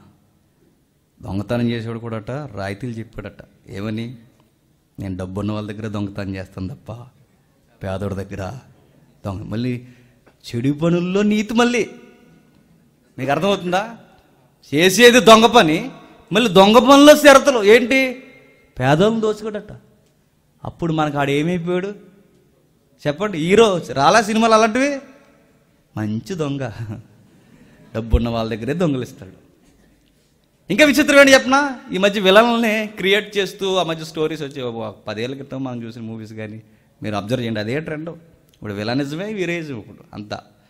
అయితే విలనట మంచి విలనట ఆయన. ఆయనట చిన్నపిల్లల్ని ఏమండట? అందరినీ పెద్దోళ్ళకి ఇస్తాడు కోటింగ్లన్నీ. స్త్రీలు కూడా ఏమంటట కానీ మర్డర్ మాత్రం చేస్తాడు. అంటే చెడు పనుల్లో కూడా ఏటట? చెడు పనులు కూడా. చేసేదే చెడు పని. మరి చెడు పనుల్లో ఏం పనులు? మంచి పనులా? ఏం చెప్తుంది మన హృదయం అంటే చేసేటప్పుడు నువ్వు ఇలా చెయ్యి నీకు తప్పేమీ కాదట్టదట. మనుషులు ఎంతగా అయిపోయారంటే హృదయము మనస్సాక్షిని చంపేసుకొని ఈ ప్రపంచం బతుకుతుందట. అలాంటి టైంలో అలాంటి టైంలో ప్రాబ్లం ఏంటి అని మీరు బైబిల్ని అడిగితే బాగా వినండి ప్రాబ్లం ఏంటి అని మీరు బైబిల్ని అడిగితే ప్రాబ్లం నీకు నువ్వే అంద బైబిల్. ఎవరినో చూపించుకో. ప్రాబ్లం ఎవరో కాదు ప్రాబ్లం నీకు నువ్వే. నువ్వు మరి నేను ఎలా ఉన్నానంటే నువ్వు ఉన్నది దేవుని ఉగ్రతకు తప్పిక దేనికి పనికిరావంది. బైబిల్ ఏం చెప్పిందంటే ఇప్పుడు నా పరిస్థితి ఏంటి నేను ఏమైపోవాలి ఇప్పుడు నేను ఎక్కడికి పోవాలి? నేను ఏం చేయాలంటే బైబిల్ ఒకటే చెప్పింది. నువ్వు ఎక్కడికి పోయినా ఏం చేసినా ఏ పనులు చేసినా నువ్వు చేసేదల్లా ఒక్కటే. దేవుని ఉగ్రత తప్పిక దేనికి? పనికిరా. ప్రాబ్లం నీకు ఎవ్వరు కాదు. నీకు నువ్వే ప్రాబ్లం నేను చెప్తున్నాను మనం నరకానికి పోవడానికి ఎవరు కారణం కాదండి. చెప్పండి. మన నరకానికి పోవడానికి మనకు మనమే కారణం. అది బైబిల్. ఇప్పుడు ఈ వేడి మీరు ఇలా పట్టుకుని చదువుకుంటారండి ప్రకటన గ్రంథం వచ్చేసరికి దేవుడు అన్నాడు వాని వాని క్రియ చొప్పున ప్రతి వానికి ప్రతిదండన చేస్తానన్నాడు ఎలా వచ్చే ఆ క్రియలు అంటే కారణం ఒకే ఒక్కటి వాడు దృష్టికి వాడి మార్గం వాడి హృదయం ఒకటి చెప్తుంది కనుక నీ లైన్ కరెక్టర్ అబ్బాయి వెళ్ళిపో అందట. అలాంటి టైంలో మానవులకు ఒక ప్రశ్న ఉండిపోయింది. ధర్మకార్యాలు చేసినా దేవుడికి నచ్చకపోతే ఏ పని చేసినా దేవునికి నచ్చకపోతే నేను ఏమనినా దేవునికి నచ్చకపోతే నా మంచియే దేవునికి నచ్చకపోతే నా మంచి పనులన్నీ మురికి గుడ్డల్లో ఉంటే ఇప్పుడు నేను దేవునికి నచ్చాలంటే ఏం చేయాలంటే నువ్వెన్ని చేసినా దేవుడికి నచ్చవనగానే మనుషుల గొంతుల్లోంచి ఒక మాట వచ్చిందట అయ్యో ఇట్టి దౌర్భాగ్యమైన పరిస్థితి నుంచి మమ్మల్ని ఎవడు వినిపిస్తాడు మాకు సేవియర్ కావాలి మాకు రక్షకుడు కావాలి మమ్మల్ని విమోచించేవాడు కావాలి. దేవుని ఉగ్రతకి గురైపోయిన మా బతుకులను రక్షించడానికి మాకు రక్షకుడు ఉన్నాడా అని అడిగితే ఆ కేకలకు భూమి మీదకి ఆన్సర్ వచ్చిందట ఆ ఆన్సరే చెప్పండి. ఏసుక్రీస్తు అదే గుడ్ న్యూస్ అదే క్రిస్మస్. మీరు కొత్త నిబంధన న్యూ టెస్ట్మెంట్ మీరు చదవండి. క్రొత్త నిబంధన పరిచయం పరిచయం ఏమనిచ్చింది చెప్పండి. రక్షకుడు సేవ్యర్ వస్తున్నాడు మీకు అని చెప్పింది.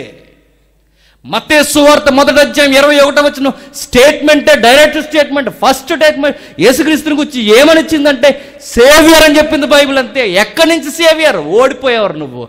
నీ చేయి పట్టుకోవడానికి నేను బతికించడానికి నేను నిలబెట్టడానికి.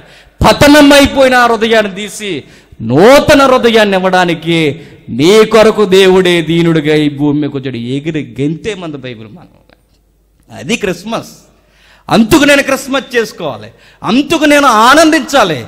ఈ వార్త పతనమైపోయిన ప్రతి ఒక్కరికి నేను చెప్పాలి.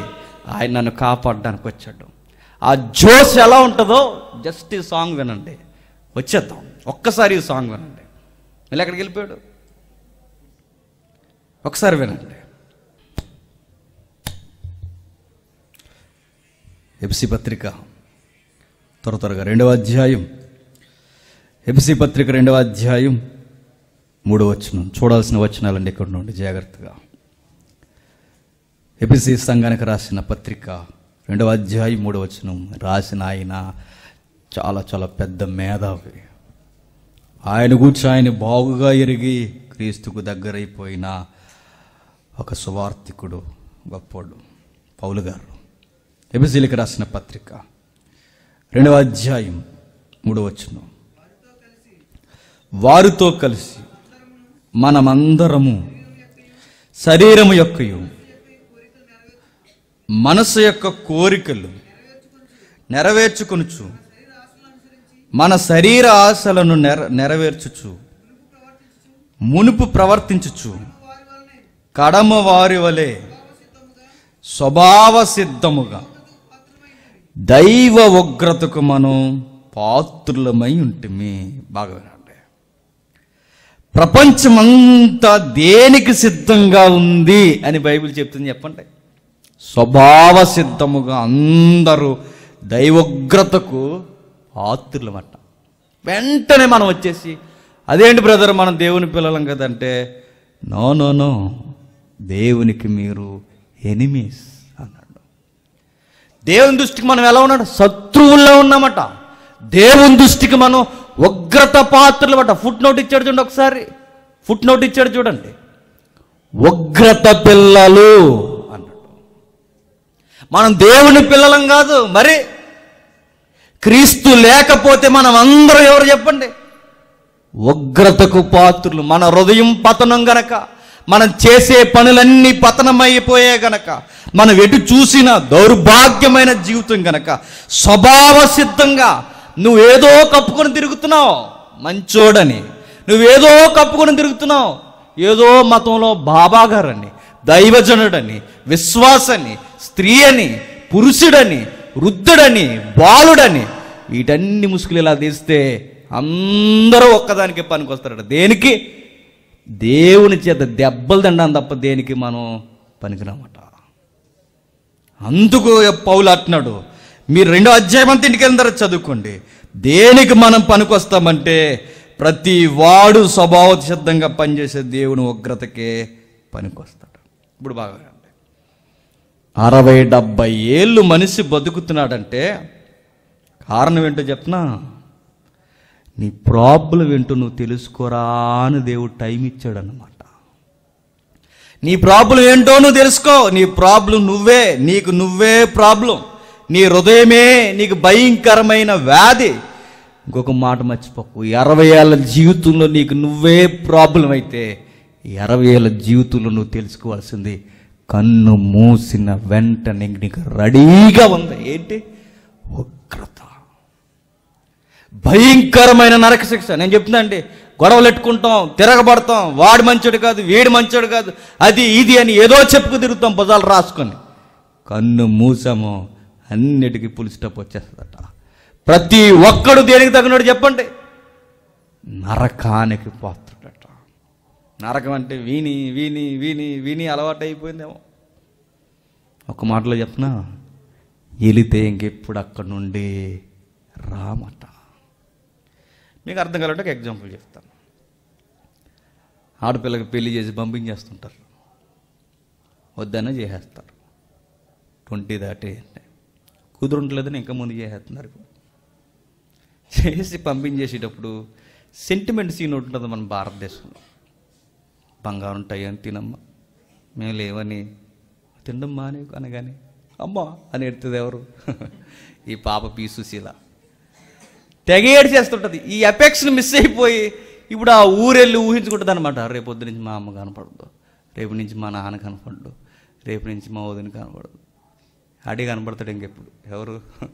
వాళ్ళ ఆయన. ఈడు ఎలా ఉంటాడు? ఇవన్నీ ఊహించుకొని అలవాటు అయిపోయి అమ్మాయి ఆ తల్లిదండ్రులు విడిచి వెళ్తున్నప్పుడు చాలా ఫీల్ అయిపోతుంది మదిలో ఉన్న మాట ఏంటి చెప్పినా?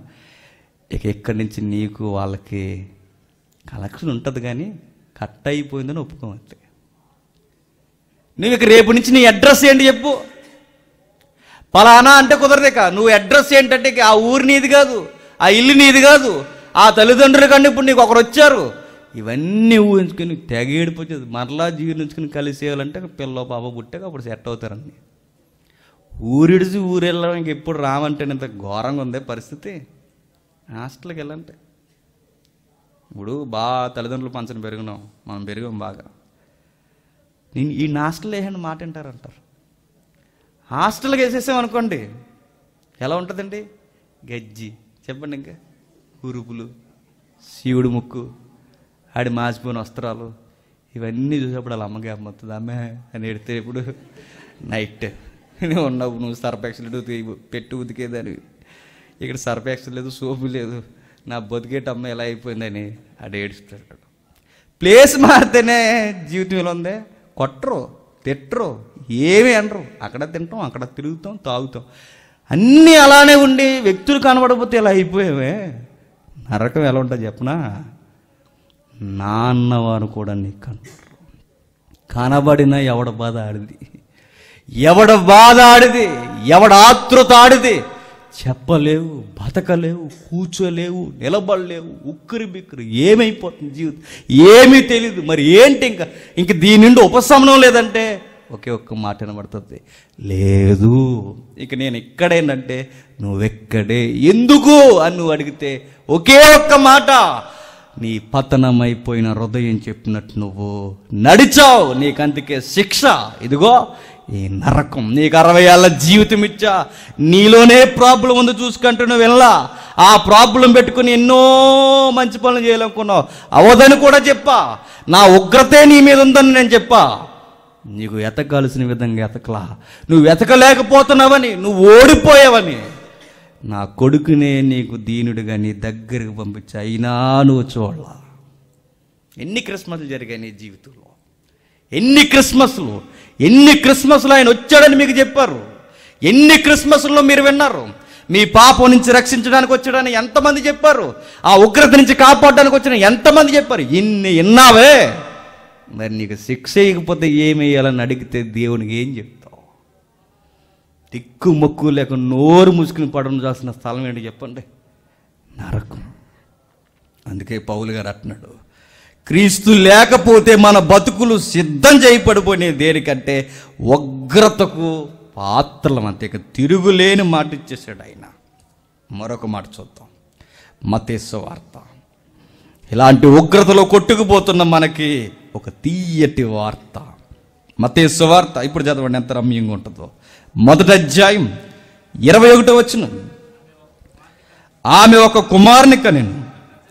తన ప్రజలను వారి పాపాల నుండి ఆయనే రక్షించును కనుక ఆయనకు యేసు అని పేరు పెట్టి తన ప్రజలను తన పాపాల నుండి ఆయనే రక్షించును కనుక పాపాలు ఎలా వస్తున్నాయి? పాపాలు ఎలా వస్తున్నాయి చెప్పండి? హృదయం క్యారెఫ్ అడ్రస్. అది చెప్పినట్టు చేస్తున్నారు కనుక అది మారాలి వారి పాపాలు పోవాలి అంటే దిక్కొకటే.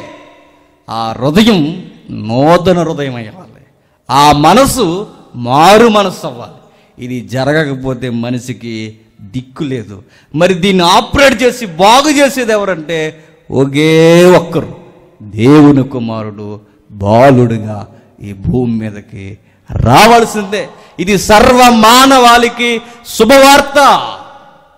కొట్టుకుపోతున్న మీకు చెయ్యందించడానికి వచ్చిన గొప్ప వార్త. దేవుడు తప్ప ఈ ప్రపంచాన్ని ఎవ్వరు కాపాడలేడన్న వార్త. ఇప్పుడు మీకు కరోనాకు మందు వచ్చిందంటే ఎంత ఆనందంగా ఉంటుందో? పాపానికి మందు వచ్చేసింది భూమి మీదకి రెండు వేల సంవత్సరాలు అయింది ఆ మందే ఎవరు చెప్పండి? యేసుక్రీస్తు. పాప అడుగుతాడట. మరి నేను ఏ విధముగా దేవుడిని మెప్పించలేకపోతే మరి నిన్ను మెప్పించేది ఎవరు అంటే బైబిల్లోనే రాయబడింది. మతేశ్వార్త అదే మతేశ్వార్త ఎంత బాగున్నా చూడండి స్టేట్మెంట్లు. మతేశ్వార్త మూడో అధ్యాయం. ముగించుకుందాం. మతేశ్వార్త మూడో అధ్యాయం పదిహేడవచ్చును మరియు ఇదిగో ఈయనే నా ప్రియకుమారుడు. ఈయన ఎందు నేను ఆనందించుచున్నానని. ఒక శబ్దము ఆకాశం నుంచి వచ్చిన వాడికి భాషలో చెప్పాలంటే రే మనిషి అంటే ఇలా బతకాలరా? ఇలా బతికితే నేను ఆనందిస్తాను. ఇలా బతికితే ఎలా బతకాలనే మిమ్మల్ని పంపించాను. మీరు ఓడిపోయారు. మీరు ఎలా బతకాలితే నాకు ఆనందిస్తానంటే ఇలా బతికితే ఆనందిస్తాను. ఎలా? దేవుని కుమారుల్లా. ఇప్పుడు మనం బతకగలమంటే దేవుడు కుమారుడు వచ్చినా బతకలేం. మరి ఎలా అంటే మనం బ్రతకలేనిది మనం చెయ్యలేనిది. ఆయన బతికి మన ఖాతాలో ఆయన బతుకునేసాడట ఎంతమందికి అర్థమైంది ఈ మాట? మనం బతకలేం గనక మనం మంచి చేసి దేవుడిని మెప్పించలేం గనక మనకు బదులుగా ముప్పై మూడున్నర సంవత్సరాలు బతికి ఆ బ్రతికిన నీతిని ఆయన బ్రతుకుని తెచ్చి అలా మెడ దగ్గర తెచ్చి ఒక ట్యాగ్ వేసాడు మన మెల్లో ఏమని? నువ్వు నీతిమంతుడివి. జాయ్ అన్నాడట. మరి నా పాపాలు మరి నా శిక్ష నేను చూసుకుంటా అన్నాడట.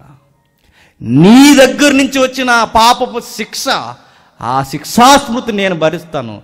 నా నీతిని నువ్వు తీసుకున్నాడట ఇది గుడ్ న్యూస్ కాకపోతే ఏ న్యూస్ చెప్పండి యేసుక్రీస్తు వారు ఎందుకు వచ్చాడంటే ఆయన సిలువెక్కడానికి మాత్రమే కాదు సిలువ మీద మన పాపాలకు పులి స్టాప్ పెట్టడమే కాదు ఆయన వచ్చింది నరకానికి నీకు దేవుని ఉగ్రతకి నీకు మధ్యగా అడ్డుగా వచ్చి నిలబడిపోయి అన్నాడట. దేవా ఇదిగో ఈ మనిషి ఈ పాపి ఎప్పుడూ మెప్పించలేడు కనుక నా నీతిని ఇతనికి తగిలించు. దేవుడు అన్నాడు నా చిత్తం అదే గనక. వీడికి క్షమిస్తున్నా పోరా ఇక్కడి నుంచి అన్నాడట. అలా బతికి క్రైస్తవులు అయ్యాం. ఎంత ఉచితముగా మనం క్రైస్తవులు అయితే మనం ఏమంటాం చెప్పండి? ఏ సంఘానికి పోతున్నారు అని అడుగుతాం మనం. ఏం అర్థం అలా ఆ భాష చూసారు ఎలా ఉందో? ఏ మినిస్ట్రీకి వెళ్తారు? ఏం చేస్తున్నారు? వాడెంత? వీడెంత అంటున్నారు. అసలు మనం అందరం దేవుని ముందు ఎంత డైపర్ బ్యాచ్ అందరూ. అది. ఇంకంతే మర్చిపోకండి అది. గుర్తొచ్చారు మీకు చిన్నపిల్లలు చూసినట్టే అందరం అదే. మరి ఇందులో నేను ఇది అన్నప్పుడు నన్ను ఎంత ఉచితముగా నన్ను కాపాడు నాకు ఇస్తే నాకెందుకు పొగరు? నాకెందుకు తల తిరుగుడు? నేనేం గొప్ప ఉండని ఎదుటోని తగ్గించాలి? నేనేమున్నానని ఎదుటోని అనాలి చెప్పండి. ఏం లేదు. అందరూ ఒక్కటే. ఇది అర్థమైపోతే మాట బాగుంటుంది. ఇది అర్థమైతే పక్కోడిని ప్రేమించడం ఉంటుంది. ఇది అర్థమైతే మౌనం ఉంటుంది. ఇది అర్థమైతే క్రీస్తు తప్ప ఇంక నాకు ఏమీ వద్దనిపిస్తుంది. ఇదండి క్రిస్మస్ అంటే. మరొక మంచి మాట ఏంటో చెప్తున్నా. కొన్ని పాయింట్స్ గుర్తుపెట్టుకోండి. దేవుని ఉగ్రత నుంచి రక్షించే రక్షకుడు నాకు కావాలని అడగంటే ప్రతి క్రిస్మస్కి మీరు అడగాల్సింది ఏంటి చెప్పిన దేవా నాకు రక్షకునివ్వు. మలినమైపోయిన నా జీవితం పతనమైపోయిన నా హృదయం నన్ను కాపాడే రక్షకుడు నాకు కావాలి. దేవా నాకు నూతన హృదయాన్ని ఇచ్చే రక్షకుడు నాకు కావాలి. మురుకైన గొడ్డల్లాంటి నా క్రియలను తీసి సత్క్రియ అంటే ఏంటో నేర్పించే రక్షకుడు నాకు కావాలి. నా హృదయంలో లోతైన గొయ్యలున్నాయి. నా హృదయంలో కనిపించని కామ వికారమైన చీకట్లున్నాయి. నా హృదయం పూర్తిగా పతనమైపోయింది. నాకు నూతన హృదయం నూతన జీవితం నూతన మనసిచ్చే నాకు ఒక రక్షకుడినివ్వ అంటే దేవుడు అన్నాడట ఇచ్చేశాను. ఆయనే నా ప్రియ కుమారుడు. ఈయన ఎందు నేను ఆనందిస్తున్నాను. ఈయన మాట మీరందరూ వినండి. ఇంతేగా ఇంతగా ఇంతకు మించి సువార్త ఏముంది చెప్పండి?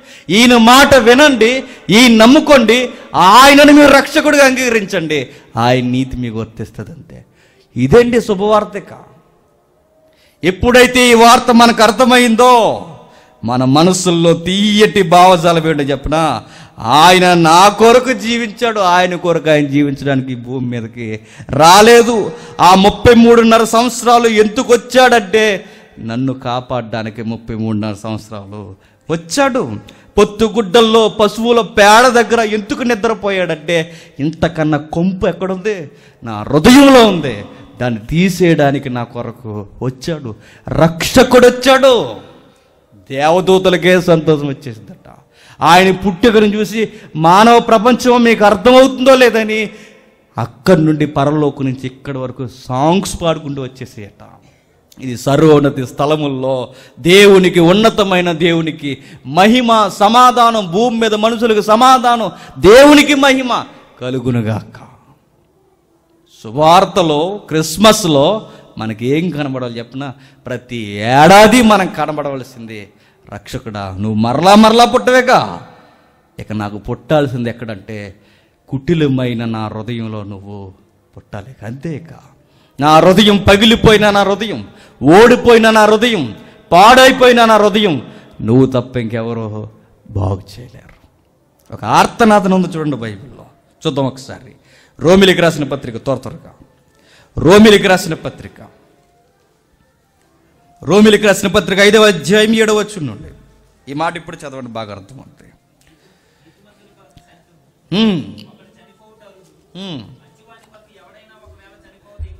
మంచివాడు కొరకు ఎవడైనా ఒకవేళ చనిపోవలసి వచ్చును. అర్థమైందా మాట? మంచోడి కోసం ఎవడైనా చచ్చిపోతాడు. ఇప్పుడు అప్పుడప్పుడు భారీ డైలాగులు ఉంటాయి చూడండి. ఏమనంటే బ్రదర్ నేను బతుకుండే ఎవడికి ఉపయోగం? నువ్వు బతికితే నలుగురికి ఉపయోగపడతావు. అందుకే సినిమా డైలాగ్ ఈ గుండె చెప్పండి. బతకాలి బ్రదరు. ఈ గుండె బతకలేవాడు నేను పోయినా పర్లేదు. మంచోడి కోసమట ఇంకోటి చచ్చిపోతాడట. చెడ్డోడి కోసం ఎవడు చచ్చిపోవడం పెట్టి చెడ్డోడికి మనం ఏదో మంచోడు అనుకుని ఏమనుకుంటాం చెప్పండి. ఆడే చచ్చిపోవాలనుకుంటాం మనం. కానీ ప్రభు ప్రేమ ఎలా కనబడుతుందో చూడండి. మంచివారి కొరకు కాదంట ఆయన వస్తా. మంచివారు ఎవరు ఈ ప్రపంచంలో లేరు కనుక అందరినీ మంచివారిని చేయడానికి అందరినీ నీతిమంతులు చేయడానికి ఆయన చెడ్డగా ముద్ర వేయించుకోవడానికి భూమి మీదకి వచ్చాడట వచ్చాడట. ఇదేనండి క్రిస్మస్. ఏమని చెబుతున్నాడో చూడండి చూద్దాం. నీతిమంతుని కొరకు. నీతిమంతుని కొరకు సహితము. ఒకడు చనిపోవుట అరుదు. మంచివాని కొరకు. ఎవడైనను ఒకవేళ చనిపోవడానికి తెగించవచ్చును. అయితే దేవుడు మన ఎడల తన ప్రేమను ఉగ్రతను చూపించిన దేవుడే అదర్ సైడ్ మనకు కనిపించేది ఏంటో చెప్పిన? ఆయన ప్రేమను మనకు కనబడుతున్నాడు. ఎట్లా? మనం ఇంకా పాపులమై ఉండగానే క్రీస్తు మన కొరకు చనిపోయాను. కాబట్టి ఆయన రక్తము వలన ఇప్పుడు నీతిమంతులుగా తీర్చబడి మరింత నిశ్చయముగా ఆయన ద్వారా దేవుని ఉగ్రత నుండి రక్షింపబడుతున్నాం. ఉగ్రత చూపించేది ఆయనే ప్రేమను చూపి రక్షించేది ఆయనే. ఇందులో దేవుని ప్రేమ కనబడ్డది. దేవుని నీతి కనబడ్డది. శిక్ష జరిగింది. రక్షణ వచ్చింది. భయంకరమైన నరక పాత్ర తప్పింపబడడానికి ఆన్సర్ వచ్చింది. ఇప్పుడు ఎవరికైనా రక్షకుడు అంటే ఎవరైతే ఆయన రక్షకుడుగా అంగీకరిస్తారో వాళ్ళందరికీ ఈయన రక్షకుడు. నాకు అవసరం లేదన్న వాడికి ఆయన రక్షకుడు కాడు. ఆయన రెడీ. ఇక రావాల్సింది ఎవరు? నువ్వు నేను. క్రిస్మస్ ఇంకా ఏమి నేర్పిస్తుందో కిందికి చూద్దాం. ఉగ్రత నుండి రక్షింపబడుతుము ఏలయనగా. శత్రువులమై ఉండగా దేవునికి పిల్లలం కదట. సౌండ్ మారిపోయిన చూడ మనం ఎవరు? దేవునికి శత్రువులు. దేవునికి ఎనిమిస్ అయితే ఎవడండి బతికది చెప్పండి. దేవుడికి శత్రువు అయితే ఎవడు బతికి బట్ట కట్టేది? దేవుడికి శత్రువు అయితే అందరికీ శిక్ష ఏంటి చెప్పండి? కరెక్ట్ పనిష్మెంట్ ఏంటి చెప్పండి? నరకమే. దీనికన్నా పెద్ద పనిష్మెంట్ ఏమీ లేదు. ఉరేసినా తక్కువే సిలువేసినా తక్కువే ఏం చేసినా తక్కువే. మనిషికి భారీ శిక్ష దేవుడికి లెవెల్కి సరిపోయేది మన పాపాలకు సరిపోయి తూగేదేంటి చెప్పండి? నరకమే. అదే కరెక్ట్. ప్రకటన గ్రంథం ముగిస్తూ ఎందుకన్నాడు ఆయన? ప్రతి వానికి క్రియ క్రియ వాని వాని క్రియ చెప్పున తీర్పు తీరుస్తానని తీర్పుతో ఎందుకు హెచ్చరిక గ్రంథాన్ని ముగించాడంటే ఇంత చదివితే బైబుల్లో నీకు కనిపించేది దేవుడు కనిపిస్తాడు. పతనమైపోయిన నీకు నువ్వు కనబడతావు. ఎప్పుడైతే నువ్వు పతనమైపోయావని నీకు అర్థమైందో నా హృదయం ఘోరమైందని నీకు అర్థమైందో ఇక నన్ను నేను రక్షించుకోలేనని నీకు అర్థమైందో? నా మంచి పనులు కూడా దేవుని దృష్టికి మురుగు గుడ్డలని నీకు ఎప్పుడైతే అర్థమైందో? మరి దేవుణ్ణి మెప్పించి నాకు ఈ శిక్షణ తప్పించేది ఎవరున్నారంటే ఒకే ఒక్క మాట పదే పదే చెప్తున్నాను. యేసుక్రీస్తు యేసుక్రీస్తు యేసుక్రీస్తు. అంతే కా ఆయన వచ్చి ఆయన బతికాడట. ఒక మాట చెప్తాను. పస్కా ఉందిగా? గుడ్డు మొఖాలు కొన్ని ఏం చేస్తున్నా పస్కాకి క్రిస్మస్కి కంపారిజన్ ఇచ్చి క్రిస్మస్ చేయమనుందా? అని అడుగుతున్నారు. మరి పసగా చేస్తావా? అస్సలు కంపారిజన్ రాదు ఏమీ రాదు ఏమీ రాదు. ఏమొచ్చంటే? ఎదుటి అన్నం వచ్చి అంతే ఏ అది కాదు విధానం. పస్కాలో మరిసిపోయిన ఆన్సర్ ఏంటో చెప్పనా? ఐగుప్తీలే కాదు చనిపోయేది. ఇస్రయేళ్ళు కూడా చచ్చిపోవాలి. అర్థమవుతుందా?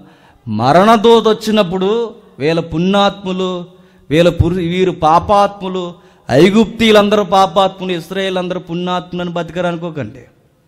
వేలో చావాలి వాళ్ళు చావాలి. మరి వేలెందుకు బతికారంటే రక్తం అడ్డొచ్చింది అంతే. గొర్రె పిల్ల రక్తం అడ్డొచ్చింది కనుక బతికారు. లేకపోతే రక్తం లేకపోతే రక్తం లేని ఇల్లు రక్తం లేని ద్వారబంధం రక్తం పోయబడిన గృహం. ఏమవుతుంది చెప్పండి? ఐగుప్తులతో పాటు కలిపి చచ్చిపోతారు. మనుషులందరూ చచ్చిపోతారు. పస్కా మనకు నేర్పుతుంది ఏంటంటే రక్తం లేకపోతే ఇస్రాయేల్ ఏర్పరచబడిన చేస్తారు. క్రీస్తు రక్తాన్ని మన హృదయం మీద మన జీవితం మీద అప్లై చేసుకోకపోతే చెప్పండి. లోకంతో పాటు మనం కూడా చస్తాం. అప్పుడు అంటున్నాడు పౌలు గారు ఏమని? ఏలయనగా మేము శత్రులమై ఉండగా ఆయన కుమారుని మరణము ద్వారా మనం దేవునితో సమాధానపరచబడిన యెడల సమాధానపరచబడిన వారమై ఆయన జీవించుట చేత మరి నిశ్చయముగా రక్షింపబడుదుము. అంతేకాదు మన ప్రభు అయిన యేసుక్రీస్తు ద్వారా మనం దేవుని ఎందు అతిశయపడుదుము. ఆయన ద్వారానే మనము ఇప్పుడు సమాధాన స్థితి పొంది ఉన్నాం. లేకపోతే దేవుడికి మనకి ఎప్పుడు ఉండేదని చెప్పండి. గొడవ వైర్యం. ఆదాముని ఎలా అయితే పో అన్నాడు తోట నుంచి. మనల్ని అందరినీ పో అంటే ఇప్పుడు తోట నుంచి కదా పోయేది. ఎక్కడికి చెప్పండి? నరకానికి. ఇంకా తోటలకి ఇట్లా ఏం లేవు ఇక. అందరు పోయేది ఎక్కడ నరకానికి పో అన్నాడు. అరవై ఏళ్ళ టైం ఇచ్చి డెబ్బై ఏళ్ళ టైం ఇచ్చి ఎప్పటికే ముప్పై నలభై యాభై సంవత్సరాల దగ్గరకు వచ్చినా నీ లోపం ఏంటో నీకు కనబట్టలేదంటే నువ్వేం చేయకూడదు చెప్పండి. నువ్వు క్రిస్మస్ చేయకూడదు అసలు. ఎందుకు నీ లోపం నువ్వని తెలిసినప్పుడు వెంటనే నువ్వు వచ్చి చేయాల్సింది సేవియర్ వచ్చాడు. సేవియర్ వచ్చాడు అన్న న్యూస్ నీకు ఎప్పుడు అర్థమైందో? ఆ మాటకి అర్థం క్రిస్మస్ అంటే ఆరాధన. ఆయన ఆరాధించడమే క్రిస్మస్. ఎవరు క్రిస్మస్కి అర్హులు? నా లోపాన్ని నేను చూసుకున్నప్పుడు నేను క్రిస్మస్కి అర్హత అన్నమాట ఆరాధనకి. మరొక మాట చూద్దాం. త్వర త్వరగానే. వెళ్ళిపోతుంది కానీ ఆకలేస్తుందా బాగా ఆకలేని ఆరోగ్యానికి మంచిది. రోమిలికి రాసిన పత్రిక. ఏడవ అధ్యాయం. రోమిలికి రాసిన పత్రిక ఏడవ అధ్యాయం పద్దెనిమిది వచ్చి ఉండండి నా యందు అనగా మానవులమైన మా శరీరమందు మంచిది ఏది నివసింపదని నేను ఎరుగుతును మేలైనది మంచిగానే ఉండాలని మంచి పనులే చేయాలని కోరిక నాకుంది. కానీ దాన్ని చేయలేకపోతున్నాను. ఎందుకో చెప్పనా? నేను చేయగోరు మీరు చేయక. చేయగోరని కీడే నేను చేస్తున్నాను. నేను కోరని దానినే చేసిన ఎడల. దాని చేయినది నాయందు నివసించు పాపమే గాని ఇకనూ నేను కాదు. కాబట్టి మేలు చేయగోరు నాకు కీడు చేట కలుగుచున్నదని ఒక నియమము నాకు కనబడుచున్నది. అంతరంగ పురుషుని బట్టి దేవుని ధర్మశాస్త్రమందు నేను ఆనందిస్తున్నాను. కానీ వేరొక నియమం నా అవయములున్న పాప నియమమును నన్ను చెరబట్టి లోపరుచుకొనుచున్నది అదే హృదయం అదే ఓడిపోయిన బతుకు. దేవుని మాటలు విన్నంతసేపు ఎలా ఉంటుందట? ధర్మశాస్త్రం విన్నంతసేపు చదివినంతసేపు ఎలా ఉంటుందట? ఆనందంగా జీవితం తెప్పరెళ్ళినట్టు ఉంటుందట ఇంటికి వెళ్ళినట్టు ఎలా ఉంటుందట? ఆంజీ ఇంకెందుకు లేట్ అంటుందట? ఏంటి? బిగ్ బాస్ ఇంకేమన్నా చెప్పండి? బాసు ఇంకా చాలా ఉన్నాయని చెప్తుందట మనకి.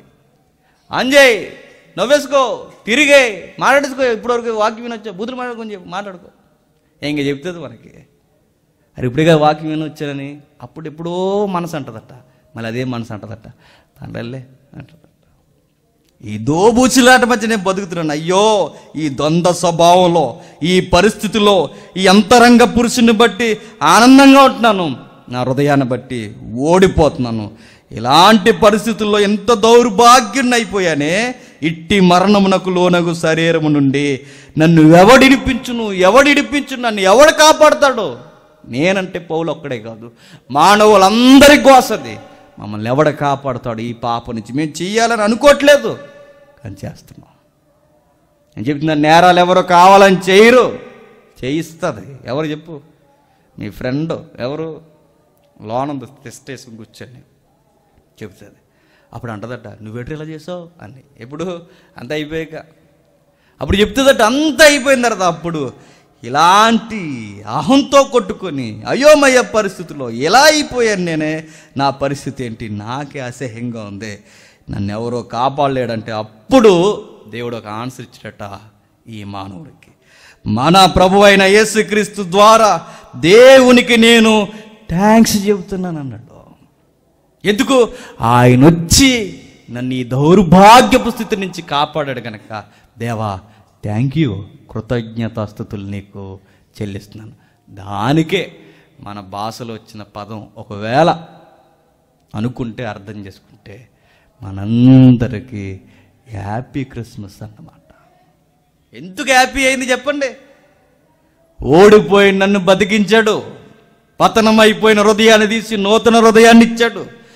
పాడైపోయిన మనసుకి మారు మనసునిచ్చాడు. మరో మనసు మారు మనసుకు పర్యాయపదం మరో మనసునిచ్చాడు. నవీన స్వభావం ఇచ్చాడు. ఇన్నిచ్చి నన్ను కాపాడు. అందుకు దేవునికి నేను చెబుతున్నాను. నా ప్రాబ్లం ఏంటో నాకు తెలియజేస్తావు. అరవై ఏళ్ళ జీవితం ఇచ్చావు. ఇప్పుడు నాకు అర్థమైంది నీ కుమారుని ఇందుకే పంపావని. అందుకు దేవానికి చెబుతున్నాను. కృతజ్ఞతాస్థుతులు చెల్లించుచున్నాను. కాగా మనస్సు విషయంలోను నేను దైవక నియమమునకును శరీర విషయంలో పాప నియమానికి దాసునైనను కాబట్టి ఇప్పుడు క్రీస్తునందున్న వారికి ఏ శిక్ష విధి లేదు. గేట్లు ఎత్తేడట అంతే. జెండా ఎత్తేడట మనకి ఇక ఏమీ లేదు. తీసేడట ఇక నీకు నూతన హృదయం నీ పాపాల చిట్ట ఆ సిలువు కేసు కొట్టేశాను ఇక. ఇక మరలా చేయకండి ఇక ఏ నేరారోపణ లేదు ఏమీ లేదు. ఇప్పుడు బాగా వినండి. ఇప్పుడు క్రీస్తునందున్న వారికి ఏ శిక్ష విధి లేదంటే లైసెన్స్ వచ్చింది కదని ఎడం పక్క వెళ్ళాల్సి నువ్వు కుడి పక్క వెళ్ళమని కాదు. అది లైసెన్స్ కాదు. ఫ్రీడమ్ అంటే ఏంటి? సిగరెట్లు కాల్చమని కాదు. ఆరోగ్యాన్ని కాపాడుకోమని. అంతే అందరికి అర్థమైపోతారు. స్వతంత్రం వచ్చింది లైసెన్స్ కాదు. నీకు ఏ ప్రాబ్లం లేదు ఇక ధీమాగుండు పాపము చెయ్యకు చెయ్యలేవు ఎందుకంటే నీ మనసుని నేను మార్చేశాను. ఇప్పుడు ఒప్పుకుంది ఈ మాటలు జాగ్రత్తగా వినండి. యోహాన పత్రికలో మొదటి యోహాన పత్రికలో ఒక మాట అన్నాడు. మన మన పాపములను దేవుని దగ్గరికి వెళ్ళి ఒప్పుకొని ఎడల ఆయన నమ్మదగిన వాడు గనక క్షమిస్తాడట. ఏమని ఒప్పుకోవాలి నేనంటే ఇలా ఒప్పుకోండి. ఏమనంటే ప్రభువా నా హృదయం ఘోరాతి ఘోరమైందని ఒప్పుకోండి. కనిపించని భయంకరమైన లోతులు ఒప్పుకుంటున్నానని ఒప్పుకోండి కామపు కోరికలు మదమెక్కిన మనస్సు నా హృదయం పెనవేసుకుందని ఒప్పుకోండి మన పాపాలను మనం ఒప్పుకుంటే ఆయన నమ్మదగినాడట. ఏం చేస్తాడు? క్షమిస్తాడట. అలా కాకుండా కయ్యేను ఏంట్రా ఇది చేసావంటే? ఆడేమన్నాడట? నేనేం చేశాను? అన్నాడట. నాకే సంబంధం లేదు? అన్నాడట. అప్పుడు దేవుడు అన్నాడట నీకు ఏసేయలరా ముద్ర అన్నాడట. పోయాడా? సహవాసం తెగిపోయింది. పోయాడు. దేవుడు ఏం కోరుతున్నాడు చూడండి. మన పాపాలు మనం ఒప్పుకోవాలి. కయ్యేలా నేను ఏం చేసిన అడగకూడదట. ఆదాములా దాక్కునే ప్రయత్నం కూడా చేయకూడదట. ఇలా చేసి ఎప్పుడైతే మనం ఒప్పుకున్నామో అప్పుడు క్రీస్తు మన హృదయానికి చెప్పండి. హృదయంలో ఆనందాన్ని ఉల్లాసాన్ని ఇచ్చాడట. అందుకే యేసుక్రీస్తు వారు మన జీవితానికి సరి అయిన రక్షకుడు. ఈ యజ్ఞయాగం ఈయన తప్ప ఇంకెవరు చేయగలరు చెప్పండి. చీకట్లో చేసిన పనులన్నీ క్రిస్మస్ వెలుగుల్లో ప్రతి ఏడాది నువ్వేం చేయాలి?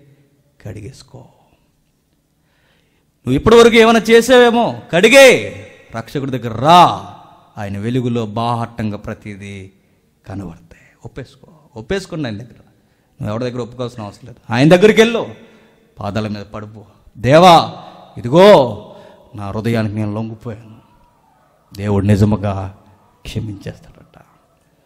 కయ్యేళ్ళ డొంక దగ్గర స్వభావం చెప్పిన ఆదాముల పక్కవరి మీద గంటేసే ప్రయత్నం చేసిన నువ్వు మంచి అనుకోవడానికి ఎదుటోడి చెడ్డ చేసిన దేవుని ఉగ్రతకి మరింత భయంకరమైన పాత్రలు అవుతామట ఉన్న జరిపోలేదని ఇంకేం చేస్తాం మనం? ఇలా చేస్తే ఇంకా పెంచుకుంటామట.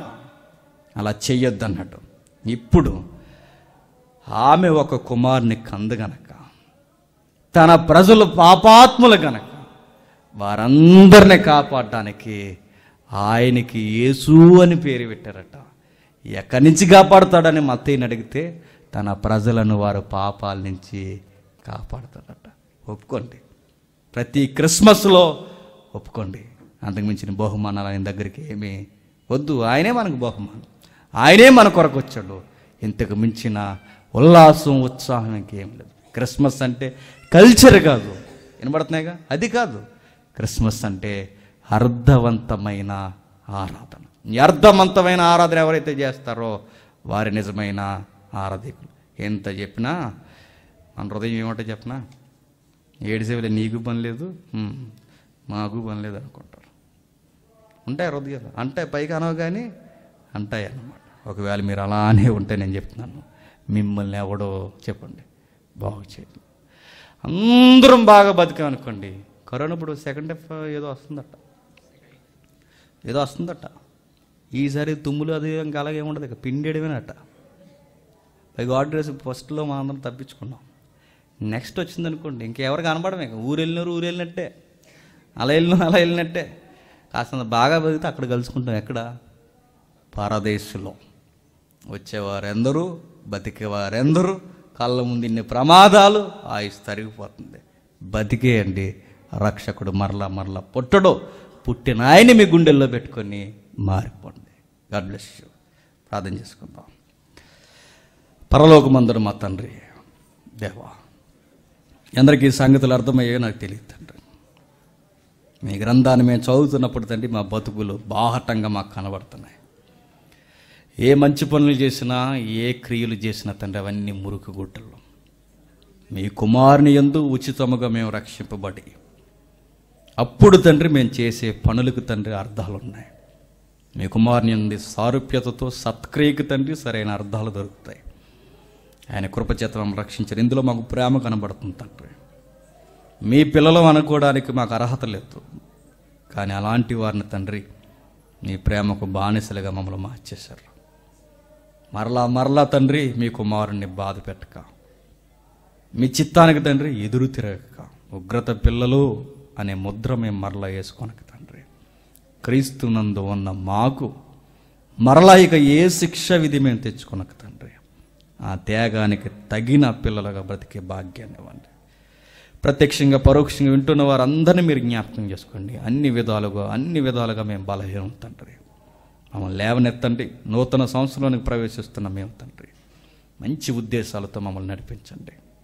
భయంకరమైన వ్యాధి నుంచి మమ్మల్ని రక్షించి ఇంకనూ సజీవుల లెక్కల్లో మమ్మల్ని ఉంచినందుకు తండ్రి.